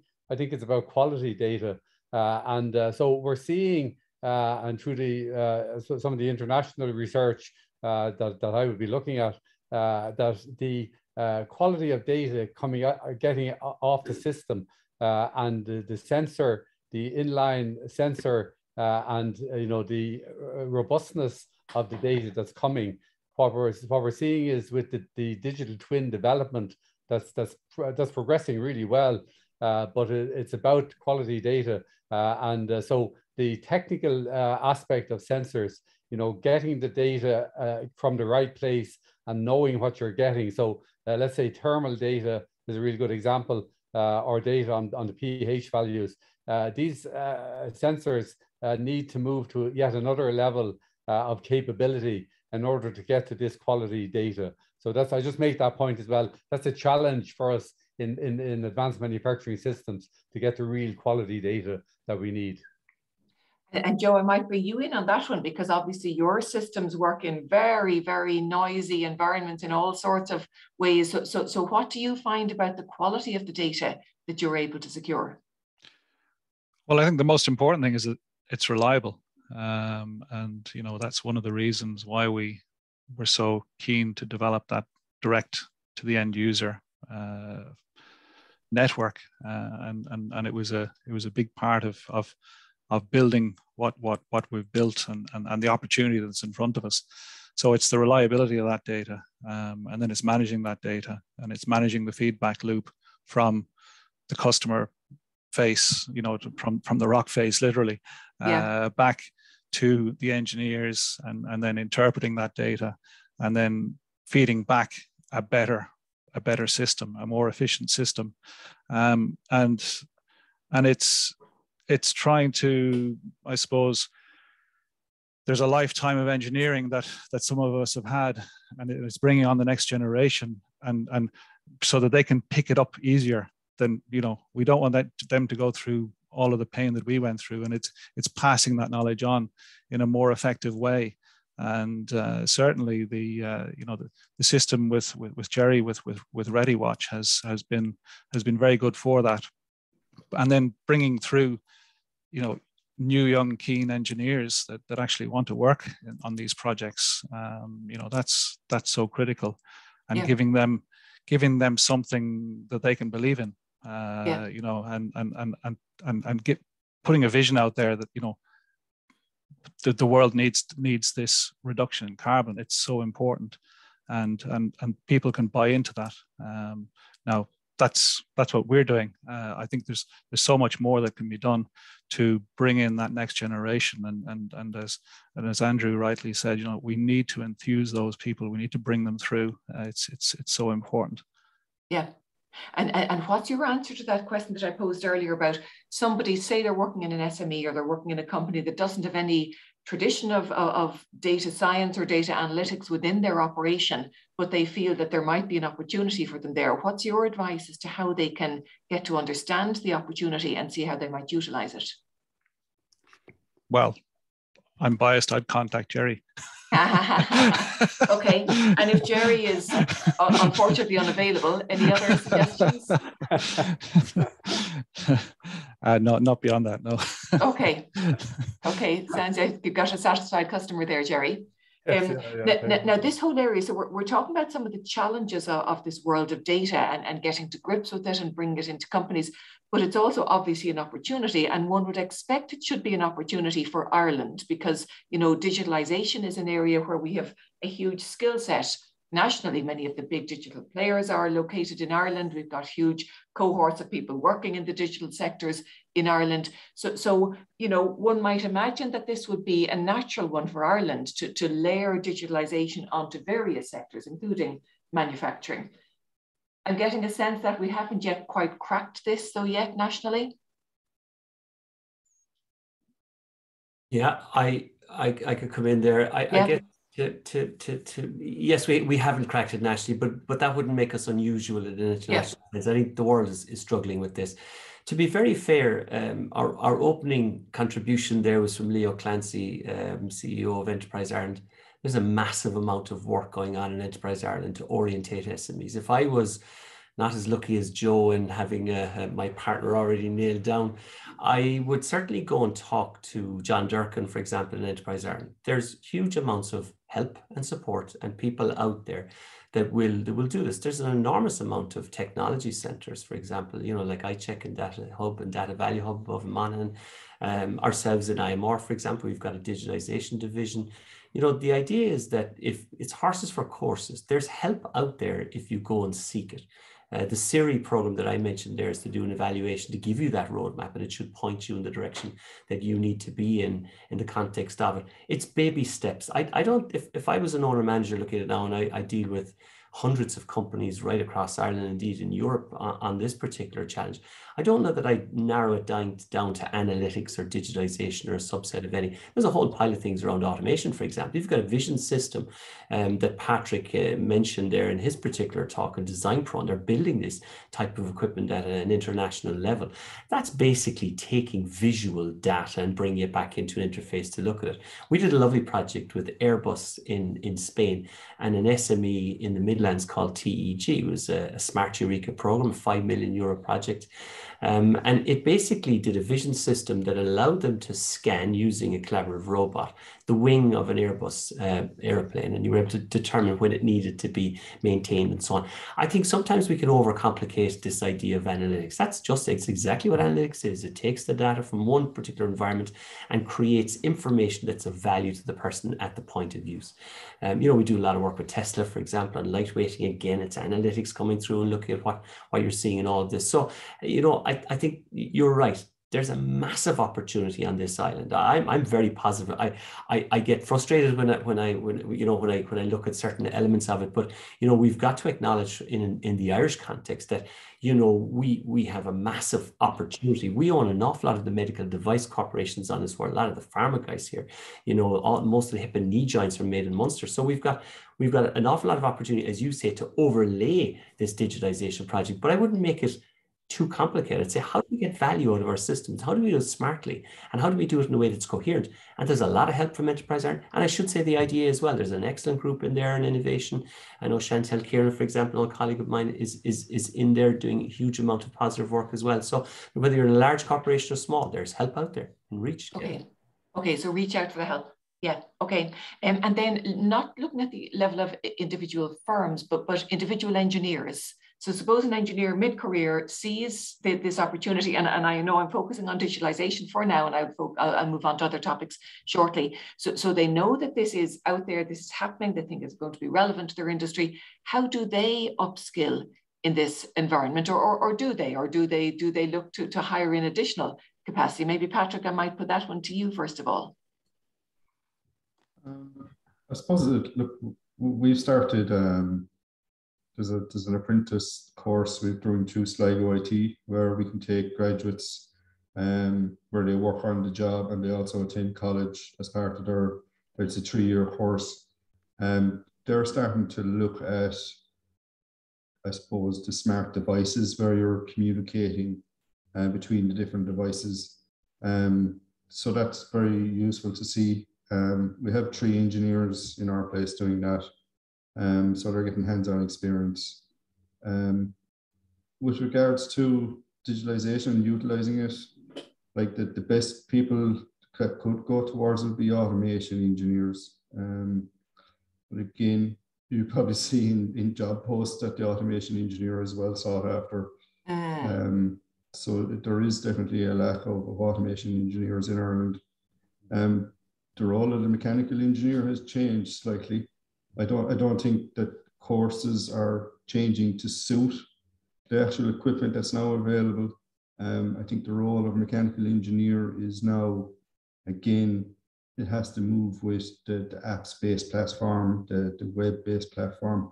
You're still going to need to design the the gears, the structures, the the weights, the movements, and all that. But I think they're going to become more multifunctional in that they will have to look at the the programming side and the mechanical side. I think we need more engineers in that in that point of view. So, so, so can we talk then about the talent pipeline? And again, I'm not just thinking now about the, the, the, data element, but all the changes that we're seeing in manufacturing, in mechanical engineering. Um, so is the talent pipeline being formed as it should be? Are there enough engineers? Do we need to look to you know different skill sets and what we look for in our mechanical engineers and and if, if, you know if there's a problem with addressing those needs through the current talent pipeline what do we need to do differently? Is it about attracting in more uh, mechanical engineers? And, and we know all the difficulties are around that, that that have been outlined briefly already. Is, is it about attracting more into the country maybe from outside this country? Is it about changing the formation of engineers? Is it about bringing people from different disciplines more in, integrated into manufacturing? what steps can we take nationally, do you think, to improve our talent pipeline in the space? Gerry, I might put that to you first. Yeah, I, I, I suppose uh, one thought that I have in the overall sense, uh, I think, you know, in, in, just specifically in the area of manufacturing, we're in a much better position today uh, in many respects uh, to what we were even uh, five, six years ago. You know, we have, uh, you know, the, the technological universities in place. we have the uh, very strong research centers bringing through people as well and on the training side. And then the undergraduate programs, uh, uh, albeit the different universities have different flavors. Uh, but I think it's well recognized that the skill sets uh, for the mechanical engineer uh, have changed without doubt. I firmly believe that the fundamental sciences uh, are probably uh, more needed today than in the past. So the concept of giving, uh, you know, one, two, three years uh, on fundamentals, uh, mathematics and fundamental sciences, and then building on that in an applications area is a, is a strong concept for us uh, because, you know, applications, as we see, change very rapidly. Uh, but uh, the engineers have to be equipped with the fundamentals. Uh, so I think, and we can see evidence of that in the country as well. I would believe that we're actually on education of engineers internationally, we're very, very strong. In fact, uh, so I think that's a that's a that's a, positive situation okay, uh, that we have in the country. But then uh, you can see that you know there's very definitely shortages of engineers. There's hardly a company that we go into that we don't hear about. They're mm. looking for uh, I actually engineers, but technical people, uh, even at the CTO levels. You know, I'd say I know quite I, there's quite a number of companies that I'm aware of that are searching for CTOs and can't find them. So it's at different levels in the in the in the companies as well. Okay, but but you think that as you say, we're in a better position than we were five years ago. You think that the the education that our, our engineers are getting is moving in, in, in response to the trends that we're discussing here? Well, well, uh, I, I, would say um, maybe uh, from some perspective, maybe not. Uh, but I think the you know some of the programs that are happening uh, where students are placed in companies, uh, the industry placement programs for six months, uh, and you know th those sort of experiences are really excellent, uh, excellent. You know, so it's it's probably not ideal, uh, and uh, I suppose the challenge is that there's a convergence happening of of technologies. You know, of, of sorry of disciplines. So we're converging mechanical with electrical with let, us say software and also with biology now as well. Mm, so so. Yeah so our traditional channel, our traditional pillars in the universities uh, are not not ideally suited uh, to this convergence that that's happening. Uh, so uh, so uh, I'm not sure how we would deal with that at the, the university level, but uh, but the, I think you know within the system, students do have the possibilities of getting experience in other disciplines other than their main core discipline of mechanical engineering. And, and then, of course, uh, another uh, aspect of talent formation that's very relevant to our topic here tonight is research. Uh, and you touched on that, Gerry, the formation of talent through research, which, as we know, is, is, is a key element of knowledge economies. I remember, Gerry, chats with you back in the day, there was almost no funding nationally for manufacturing research in Ireland. Now, that has changed in recent times. Mm-hmm. So, is that working now, do you think? Is, is there still more to be done? Um, what's your view of the landscape in terms of developing talent through research and manufacturing? Yeah, uh, i mean, I, I, think I mentioned in my uh, in my seven minutes there, uh, you know, the gateways that are in existence. Mm, yeah, uh, and uh, there's they're very close to industry as well, uh, and they've got targets. I mentioned targets. They've got very stringent targets, as have the SFI centres uh, to work closely with industry. Uh, so you know that that interaction with industry is uh, is certainly you know at least from my perspective I see good strength in it. You know, uh, it may not be ideal, and of course the challenge is there's not enough. So does it come back down to a numbers issue at the end of the day that we just don't have an adequate number uh, of engineers uh, available in the country? You know, I think that's. that's I, and I, would like to ask Joe and, and Patrick, what's your experience of dealing with the research system nationally and, and how it meets your needs. And Joe, obviously, you you seem to be a, a satisfied customer. Yeah, I mean we've we've had some good experiences. Um, I think uh, you know we worked with with with DCU. Um, we're working with UCD and, and UL on this on the DTIF project. and uh, there's it's a collaboration between ourselves and a company called Subsea Micropiles in Dublin, and uh, yeah, we've we've had pretty good pretty good experiences, and and and then the co-op, the placement uh, side of things, we've we've had very good experiences there, mm. and and you know we've been you know, maybe we've been lucky, but but I don't think we've had a bad experience. So yeah. you know, and I think some of those uh, some of those students uh, we hope are going to join us um, when when when they're finished. So I think that's that's been good. Um, I don't know, Patrick, what what what your experience has been. Yeah, we've we've had um, co-op co-op students as well that has come into us for for their experience. Um, we should be doing more. I feel mm. um, definitely with the local colleges. Um, I'd like to have to say that we could put an influence on the engineers that are coming out because I suppose being in Limerick, you can probably see there's a lot of companies now coming like Eli and Johnson Johnson are based here, Stryker. So there is big uh, medical companies down this side of the country. Um, so, and as well, they're all heavy manufacturers. They're, they produce a lot of components every year. Um, so the engineers that come out of college, they're if they were tended towards that, would get jobs very easily. Um, but again, uh, I kind of go back to the point before whether the, the engineers coming out are suited for their manufacturing environment straight away. I don't think mm. they are. Um, I think that the, some of the courses could be tailored to suit what's actually live out there at the moment.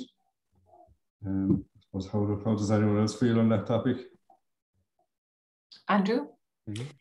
Yeah, I I, I struggle with this one at sometimes. I, I should say, and I don't mean this in any disrespectful sense, but I do a lot of work with a lot of countries at, at, at level. I've never come across a country that says their engineers aren't trained to an extraordinary degree and recognized at an international level. I think that's self-serving. We need some way of, of understanding what that actually means. In terms of how we approach um, our engineering trading and so on, there's a question in there in the Q&A, which I think is reflective of my own conversation in terms of, you know, the fundamentals of what it means to be an engineer. Gerry is right, absolutely bang on, when he says that, you know, universities exist in our society to create third level thinkers into our society. That's what they exist for, not to create, you know, fodder for industry. And the idea that we and our engineers are part of this, that they can think, that their ideation, that they understand the cognitive reasoning and so on. They need fundamental uh, parts and programs and bits and pieces to come together to be able to do that.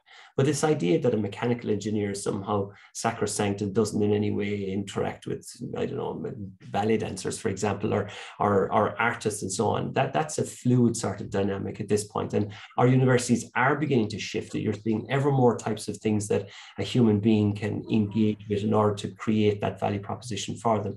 But Patrick has said it twice he's not getting the type of engineer that he's looking for out of this system at any level, whether it's someone coming out of school that I train myself or someone that I'm getting put through, um, you know, the, the system from an apprenticeship program, for example, or the engineering getting out of college uh, who has a degree and an attitude to go with it. And then, you know, the postdoc and so on that could come into this, to, to this idea. So Gerry is correct in the context that that pipeline isn't full enough and that when they come out, they're extremely scarce and then they're not able to do all things for all people. So the challenge is, do you say to your university sector, well, you should really be training people that understand how to, how to build additive manufacturing units, for example. But if that technology changes, you've got someone who's completely redundant.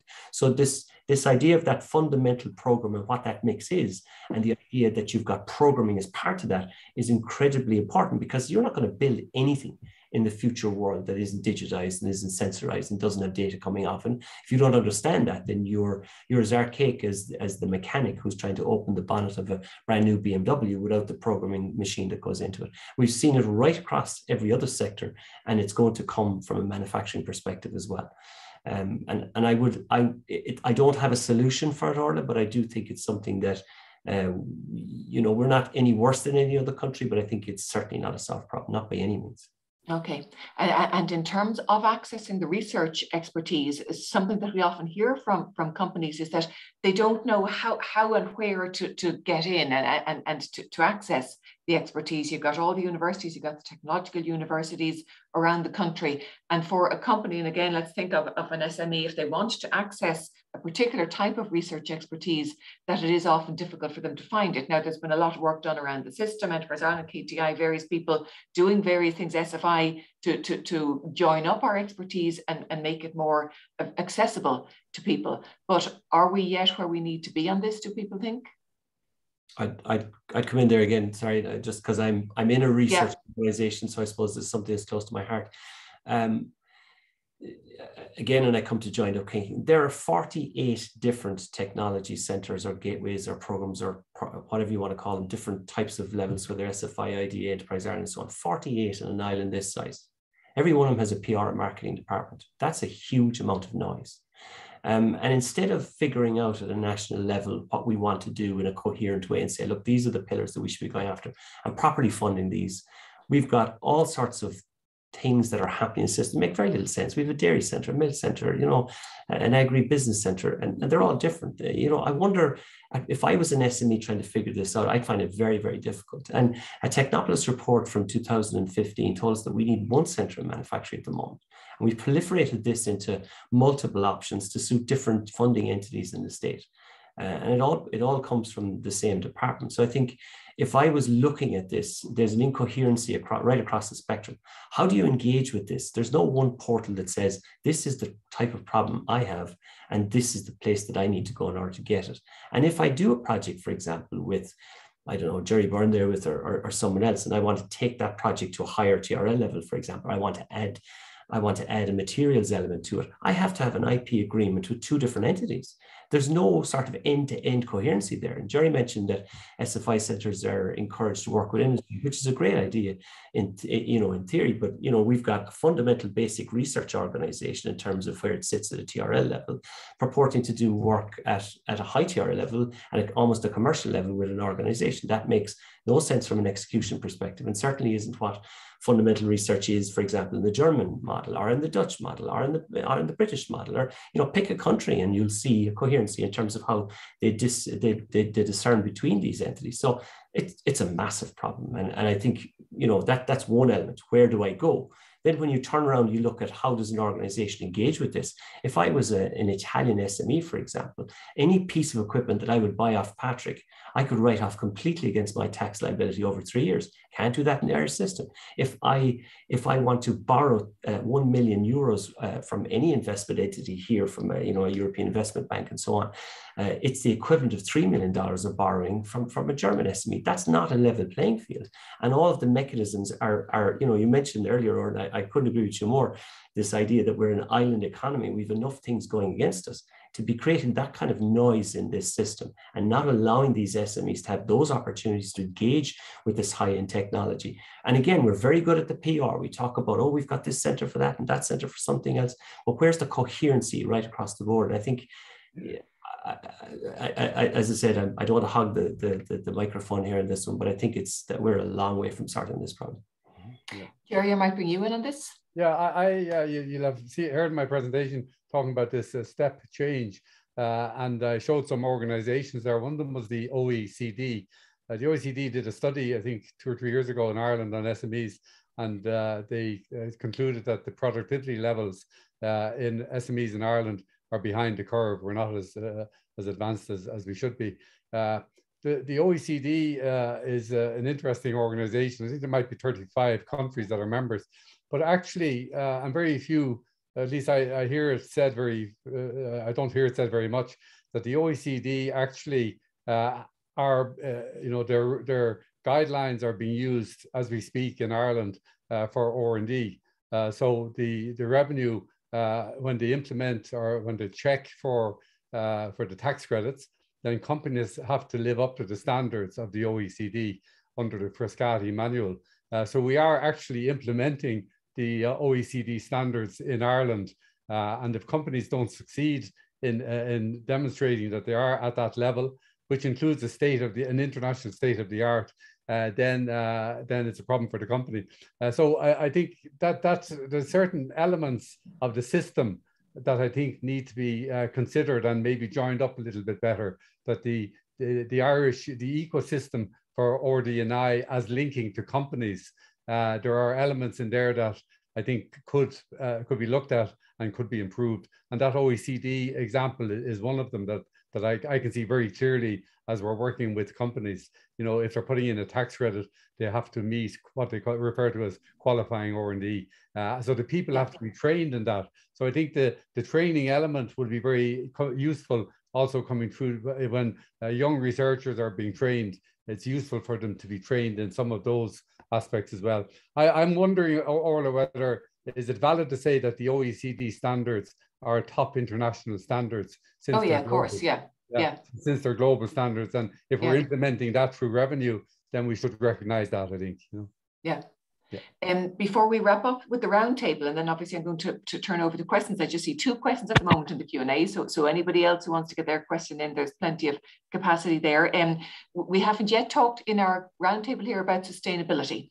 Um, obviously, digitalization is one of the huge global trends. Uh, another is sustainability and the sustainability imperative. So, so is that going to transform Irish manufacturing? Is it going to threaten Irish manufacturing? Is it an opportunity for Irish manufacturing? Joe, I might bring you in first. Obviously, you've given us a great example from your own company, but what do you think about Irish manufacturing more broadly and where we are positioned on the sustainability curve? I think it should transform it. I mean, the, the opportunity is vast. It's it's it's enormous. Um, and you know, you think about, okay, we're we're, we're doing a piece of of of the of the offshore um, installation work, but but I mean, all all that all that goes with that is is a vast opportunity, and you know, you think about today, uh, you know, even steel manufacture, um, you, you, know, there, there's there's the traditional view that it needs to be done in an area where you know you, where you're producing massive quantities of steel. I think there is an opportunity for small scale steel manufacture in Ireland, and that may sound daft, but I believe that. Um, you know, you think about uh, the the requirements that's going to come for you know just vessels, uh, the amount of vessels that are going to be needed for the offshore work, uh, the port infrastructures, the construction work. Um, I, I, I, think I think the opportunity is vast on, on that alone. Um, and and you know, I I for one am very excited by that as a uh, as as an opportunity for Ireland, Ireland Inc. You want to call it that? Um, I think it's it's uh, it's it's huge, and it should be it should be recognized and it, and it should be it should be really grasped because uh, because it's it's not going to hang around. You know, other countries are going to mm.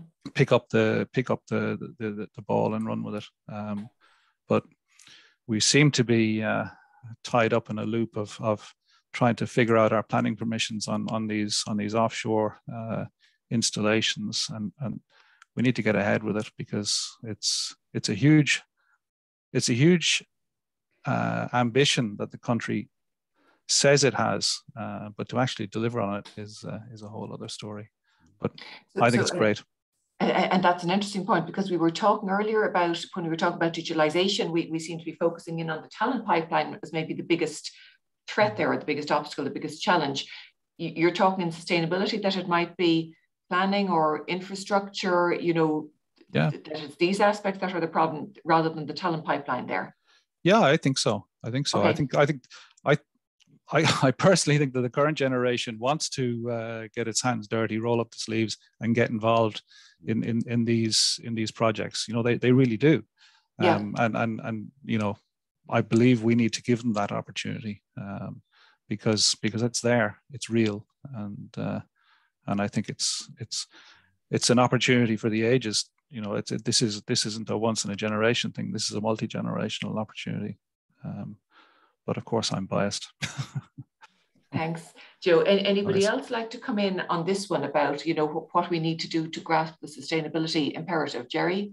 Just uh, uh, uh, this morning, I had a discussion with a, a company that make power units, uh, and uh, they were saying that steel manufacturer, large steel steel company in Europe, you know, informed them that they're changing to hydrogen, you know. Mm-hmm. Uh, so if they want to deliver their power units in, uh, the steel companies will have, uh, presumably will have quite a, an amount of hydrogen available to them. So they would expect that their power units will be uh, hydrogen powered. So if the company is not watching very carefully, uh, then uh, they could be out of business. So, so it's uh, there's a you know there's a need to be very much on the ball. Let's say in terms of what's happening with the OEMs and you know for their for their particular product, what are the threats? What are the there's huge opportunities, Joe? I fully agree with that. Mm. But I think there are also threats that are uh, out partially at least outside of the control of the company.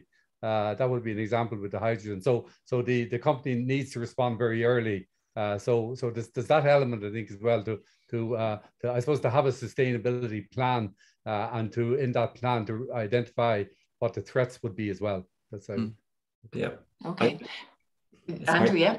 Sorry, I'm sorry. Just to come in on that, uh, Gerry's right, and, and I guess this is a lovely example in Europe of of the state infrastructure working with with the with people in the commercial zone. So the, the group that you're talking about, looking at liquid hydrogen, or sorry, hydrogen and low carbon hydrogen and so on, coming into that, um, is being supported by you know changes in GBER, for example, uh, that are coming down the track from the Commission mm-hmm. at the moment. So there's one arm going with the other. In terms of, of sustainability and circularity, um, really important from a manufacturing perspective. This won't be done without manufacturing. You know, so this idea yeah. that that you know we're in the middle of this. It's a massive opportunity a huge I, I really drives me nuts when i hear about penalties to do with environment it's not about penalties for doing the wrong thing. It's about benefits commercially for doing the right thing. You can make yeah. an awful lot of money if you get this right. And when joe talks about the next generation bang on. I've got two teenage daughters, and all they talk about all the time is green, mm. planet, sustainability. This has been driven down our throats. So our generation didn't get this right, and this next generation is not going to get it wrong. So I think, uh, and, and there's nothing but nothing but opportunity. I mean, Joe's bang on there in terms of an opportunity from an Irish context. I'd be I'd be thrilled what we can do on this island. I think we can we can be a global leader here. Really. Can. Okay, very good. And Patrick, anything you'd like to to say on the sustainability question?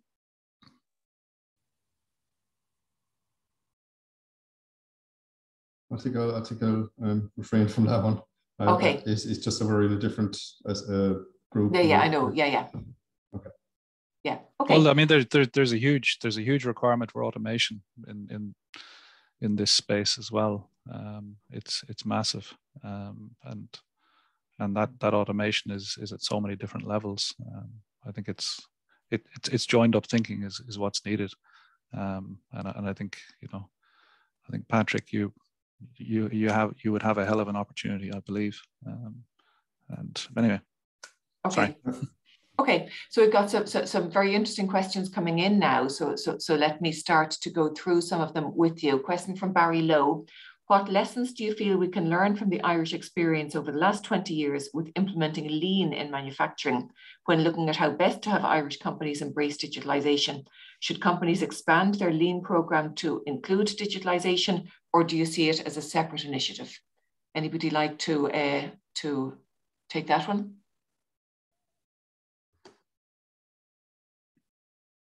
Andrew? Yeah. yeah. Happy to take it. Um, there's very little point in digitizing a bad process. So, you know, the fundamentals of manufacturing have got to be gotten right. So, lean is a fantastic baseline in order to do it. Um, I, I, do think, you know, I've seen organizations, this might sound daft, who have gone almost too lean. Do you know what I mean? And that there's no fat at all on the, on, on the animal trying to do and pivot and, and move as it needs to do. I don't see them necessarily as completely separate. Um, I, I, do think that it's an it's an, it's an elongation and development. I think again, if we go back to Enterprise Ireland, you look at Lean Start and Lean Transform, you see Digi Start, Digi Transform. So there's clearly at a national level uh, encouraging SMEs to go on a journey, if you like, and work your way through that process into that transformation level. They're using the same nomenclature and so on. So for me, uh, I, I think lean is a really important part. You, you really need to understand your process and eliminate some of the stupid stuff that, that's in there, waste of all types, people, movement, process, materials, etc. And once you've done that, then you should be in a much better place to transform um, digitally, I would suggest. Okay, thanks, Andrew. Anyone else like to come in on that one? Whether digitalization should be an expansion of lean or whether it should be separate? Anyone? Okay, if not, I'll uh, move on to another question. Oh, uh, I've seen in many companies the lack of an RDI, Research Development Innovation Champion. It, the question was put to Andrew, but maybe I might put it to Gerry in the first instance. Uh, when, when your organization engages with companies, who are the key stakeholders usually involved? So Gerry, I might start off with you on this one. Yeah, uh, so yeah, the um, uh, the question of an R&D champion, I suppose the experience that we've had over a, a good number of years uh, is that uh, if there isn't an R&D champion uh, and it's, let's say, sitting, the, the R&D is sitting, just for example, in the engineering department, if the champion is not there, what we find is that it's very, engineering companies almost by definition are extremely busy. so it's hard for uh, somebody in the engineering department to to undertake a, a role of championing uh, R&D. Uh, so what we have seen is a distinct step change uh, once an R&D champion is appointed into companies. And if those champions uh, have uh, been through a process where they understand the methodologies of, or, of research and development and innovation, uh, and uh, you know they, they know what's what's behind the scene in that in that regard, and maybe know the the ecosystem. That's a huge plus in developing the or, or the RD&I in, in the companies. Anyone else like to come in that one? Joe, for for example, from the the industry point of view. Yeah, I mean, I it's it's it's something that I've been involved in all my working life, and, and you do need that champion, um, and and you know you need to keep your eyes out for like-minded people um, and, and, to bring them in and and and and to bring them in to mentor the next generation. Um, you do need absolutely. It's without that, you're you're going nowhere, um, and and you need to you need to know it when you see it, and and and if you can bring it on board, well then do so. Um, it's it's it's vital. It's absolutely vital. Okay. Mm-hmm. Um, Next from Richard Stokes, what does the panel think about how much real research is being done in Ireland in manufacturing fundamentals as distinct from process optimization? Is it mainly D and not R? Um, Gerry, you talked about the importance of fundamentals. So do you mm-hmm. want to maybe kick off with this one? Just to kick off there, the uh, I suppose uh, uh, I'm not so sure what the meaning of real research is, uh, but uh, you know if you cl classify it according to the TRL scale, then the basic research Uh, how much of that has been done uh, in, in, manufacturing, so the low TRL, uh, and uh, I, I, would answer not enough, uh, but certainly there, there, you know, there's very large numbers, in fact, of doctoral students in manufacturing research if you go across, look across the country. so there is there, there is fundamentals happening. Uh, it's not on the scale that we might see in, in other countries, uh, but it is happening. And then, as Andrew very rightly made the point, uh, it's a little bit diffuse because uh, it's uh, a requirement of funding uh, to actually undertake work with companies and to have income generation from companies as well. So that moves it up a little bit up along the TRL scale, which you could argue is very positive. Uh, but from the point of view of developing the longer term uh, blue skies fundamentals that we will need in the plus five year scenario is not is not strong for that. Uh, so uh, to, to answer the question there, uh, Richard, um, the, the uh, I, I would feel myself that there's uh, you know looking at it through the lens of industry, uh, it's primarily a development and primarily experimental development work. and then to a, a good a lesser degree the the more basic low low TRL research. Anyone else want to add anything to that? I'd, I'd um, yeah, Andrew. I'd, I'd very much agree with Gerry. He's dead right. We've lots of PhDs out there, diverse, dispersed. Um, uh, but but I think that the tone of the question is really, you know, and I'd, I'd use the term real myself, and I don't have the correct nomenclature to to to, to quantify it and so on. Um, if we look at New Zealand, for example, it gets about a quarter, if not if less, than the FDI that we get here. It's a small island, same number of people as ourselves on the edge of a large continent, just as we are, etc. It gets three times higher rate of R and D funding from large multinationals than we do. So, so there's something there's something not quite right in terms of the profile of of our uh, of FDI investments that we have in this country. So I, I think it's a well asked question. I don't think yeah. Uh, as Gerry said, I don't think it's enough. Um, and I think for the level of, of manufacturing that's going on here, it's certainly a failure in terms of in terms of the amount of research in the R sense that's being done. Now we are doing quite a lot of developmental research in manufacturing, but really in that context, you're changing manufacturing processes and manufacturing from a spreadsheet perspective, um, you know, if, if there's a CFO looking at manufacturing, they see it as a cost center. So it's not very lucrative in terms of the investment that multinationals in particular are willing to put into, uh, uh, into an organization. It's very often, you know, the marketing department would have a bigger budget in that context. So I, I think it's something that I know the IDA, for example, know that, that Martin has, has, spoken about this the public setting. I've spoken to him about it myself. It's it is a challenge, uh, but it's something that that the IDA are very focused on going forward. So hopefully we see a change. Okay, thanks, Andrew. A few, few more questions then to, to, to cover. Um, do the speakers believe that government should be value propositioning a task force to overview our industrial requirement in infrastructure? And this is to aid sustainability. Uh, Joe, what, what do you think about this? You, you talked about infrastructure challenges around our sustainability opportunity. Um, do you think there should be a, a government task force around this or, or, or what, what do you think should be a national step to start to address this?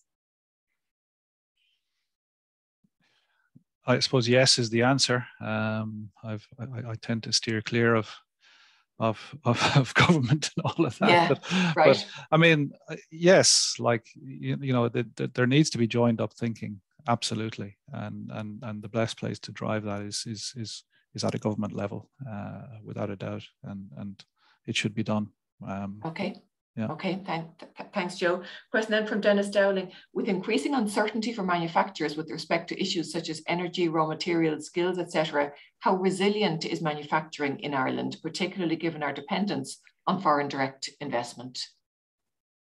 Who would like to take that one? And I can only speak from our own point of view. And and and you know, Dennis is right. You know, raw materials, uh, all all all of those aspects of of manufacturing. You know, the supply chain around that. It's it's absolutely vital. Um, and you know, from a just a, a, a, very small example, but but with, with, very big consequences. Brexit has caused huge issues. Um, you know, we we have a plant in, in Sheffield that produces tungsten carbide inserts for our drill bits.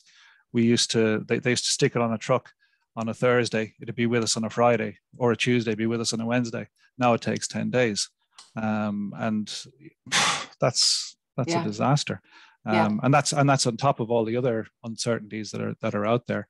So you just need to manage your way through that um, and and and build that resilience and, and build a resilient supply chain. Um, and that's that's about relationships with with with, with suppliers and continually working on that. Uh, there's no other way to do it, and and and and in, in our case, we we have big stocks of raw material. Um, you know, that's as far as I'm concerned, that's money in the bank. Uh, rather have it on the shelf so we can turn it into something than uh, than be sitting waiting for it. Um, and, and and that you need a balance sheet to be able to support that. Then, uh, yeah. you know, so it, it's it's not it's not easy, but uh, but that's that's the only way forward.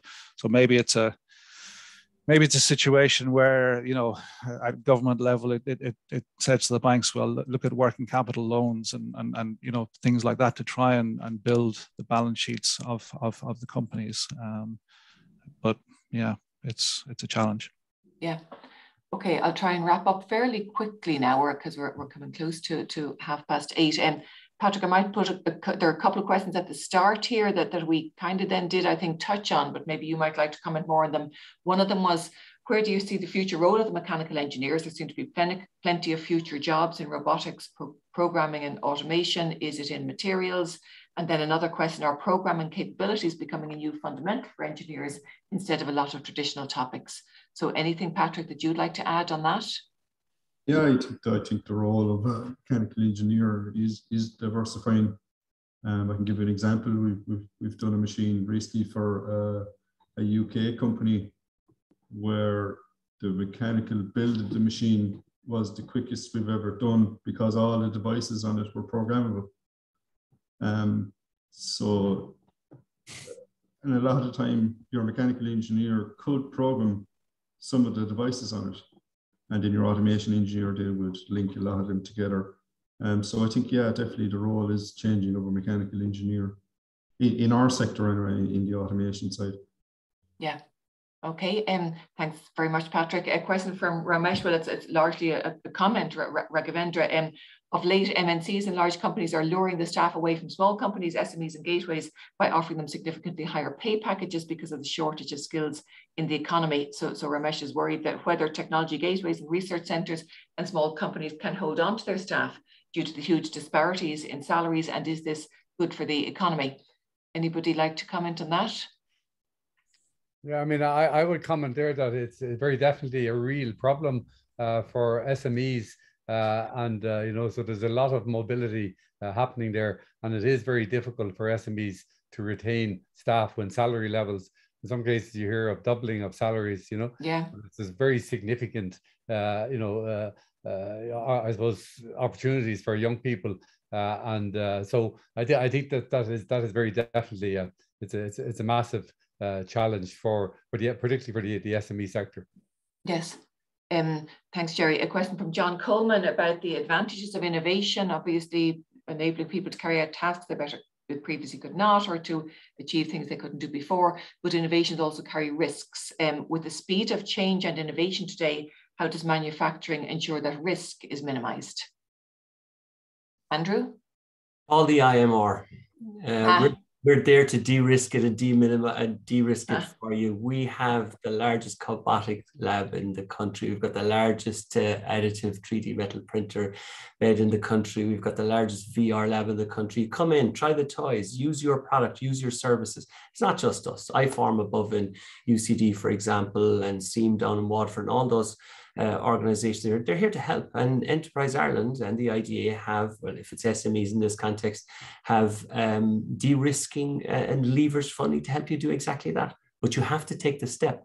Mean, if you think that your organization can stay on the same track it's on now and be and exist as it is now in 10 years' time, you're, you're out of your mind. look what look what uh, Joe Purcell has done with his family's company there and the transformation that's occurred. That didn't happen by, you know, steady as she goes and keep going and not trying new things and so on. You've got to take that is risk. That's what business is. Uh, but ultimately, we're building towards a better economy. And then our final question is, is along those lines also in the case of startups or small businesses developing products which are not focused specifically on sustainability or digitalization, are there organizations they can talk to which could advise how those elements could be added to their offerings? So, so you've, you've touched, Andrew, on a number of those. Um, anything else that anyone would like to add? Or is it the same grouping that we've talked about before. Yes, and, and Enterprise Ireland as well was was spoken of there. Uh, the the the specific services that they offer in this regard. And, and, Leo, I guess as well. There's a lot of angel groups out there that are looking to help startups in particular. Okay. Uh, but again, a, a, lot of a lot of support. County enterprise boards, for example, for companies less than ten people, are very very good at explaining the entire ecosystem. Uh, there's mentorship programs that are out there, the state funds on an ongoing basis. Um, and again, even small entities can get involved in research activities if they want to prove out. For example, they can work with any college or any tech university in the country using a model like an innovation voucher, for example, where you can get 5,000 euros worth of activity done for no cost to the individual or the organization themselves. So there's lots of ways of, of helping companies, regardless of the size and scale that they have. Um, and like I said, reach out, the help is there. Okay. Or Thanks, Andrew. If I could yeah, Gerry just a quick comment there. It, it links back to uh, some of the questions that we've had uh, in regard to resilience. I think I'm not sure who it was who asked that question. Uh, maybe it was Dennis Downing. Yeah. Uh, but you know what I, what, what I was saying about uh, the complexity. Uh, I showed that on, on the on the y-axis that that that industry one two three four diagram. Uh, and uh, I see very much a link. I see the our, our systems becoming uh, increasingly complex. As I mentioned, additional complexity now with the uh, uh, the societal elements and the sustainability elements coming in. So it's deal, dealing with complexity uh, for resilient systems. and you know what better types of people could be put on the job there than than good engineers, uh, you know, or, or cross-discipline uh, engineers. Uh, so I think uh, you know uh, our system, uh, and and we're seeing I think good responses of students coming into engineering as well at the moment in, in many disciplines. so I the, the one big regret that I have at the moment is that I'm not 25 or 30. Yeah. I, th- I think I think there's never been such an exciting time uh, in engineering uh, as Yeah. I just currently see. Uh, so just just to conclude on that point there, yeah. Well said. Yes, Well yeah. said. Well. And uh, and I, I might just put one final question, uh, if you can just give me a quick answer off the top of your head. Suppose you had a magic wand and, and you could enact one step, one thing to, to help Irish manufacturing or, or, or to future-proof us or to enhance our competitiveness or our innovation capacity. Um, what, what would you like to do if you had this magic wand? And Get rid, make it a of, the- get, rid of, get, get, rid, get, get rid of the planning restrictions for offshore. Okay, that's Joe's.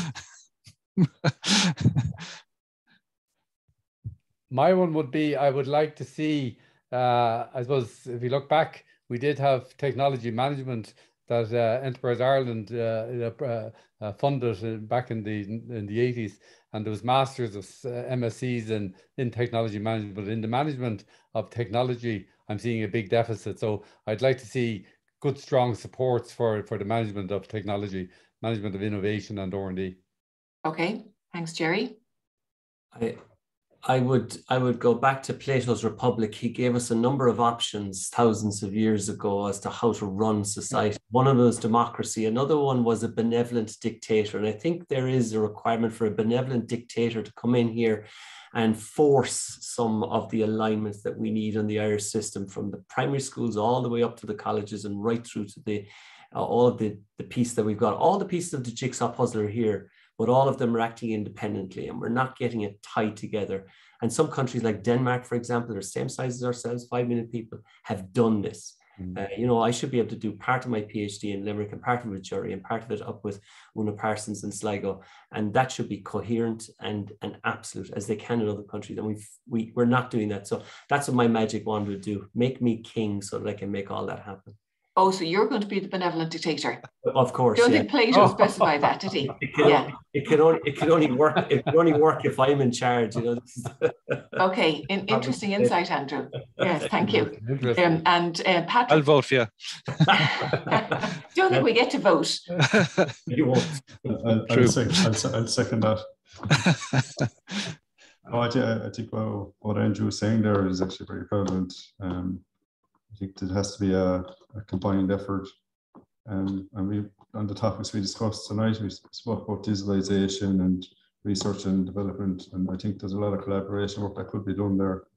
Um, and also just on, I suppose, the where I see, and I mentioned it twice already, it's just, I suppose, getting the right people to for your jobs and increase the talent pool on equipment, on manufacturing and automation. Very good. All right. So listen, thanks all very much for your time and your expertise. I think it was a very lively and interesting discussion and, and, and thanks to, to all who attended this evening. Thanks, of course, to Dermot Cowie and, and to Connor Sheehan for, for arranging. Thanks to Maureen Iengisser for supporting. And um, I, I, I think there have been some very interesting topics raised and, and I hope that we can take them forward in through Engineers Ireland or through whatever other fora are the right place to discuss them further. So thanks very much all and good night. Nice sort of having. Thanks, folks. Thank you. Bye bye. Yes. Okay. Thank you. Bye bye.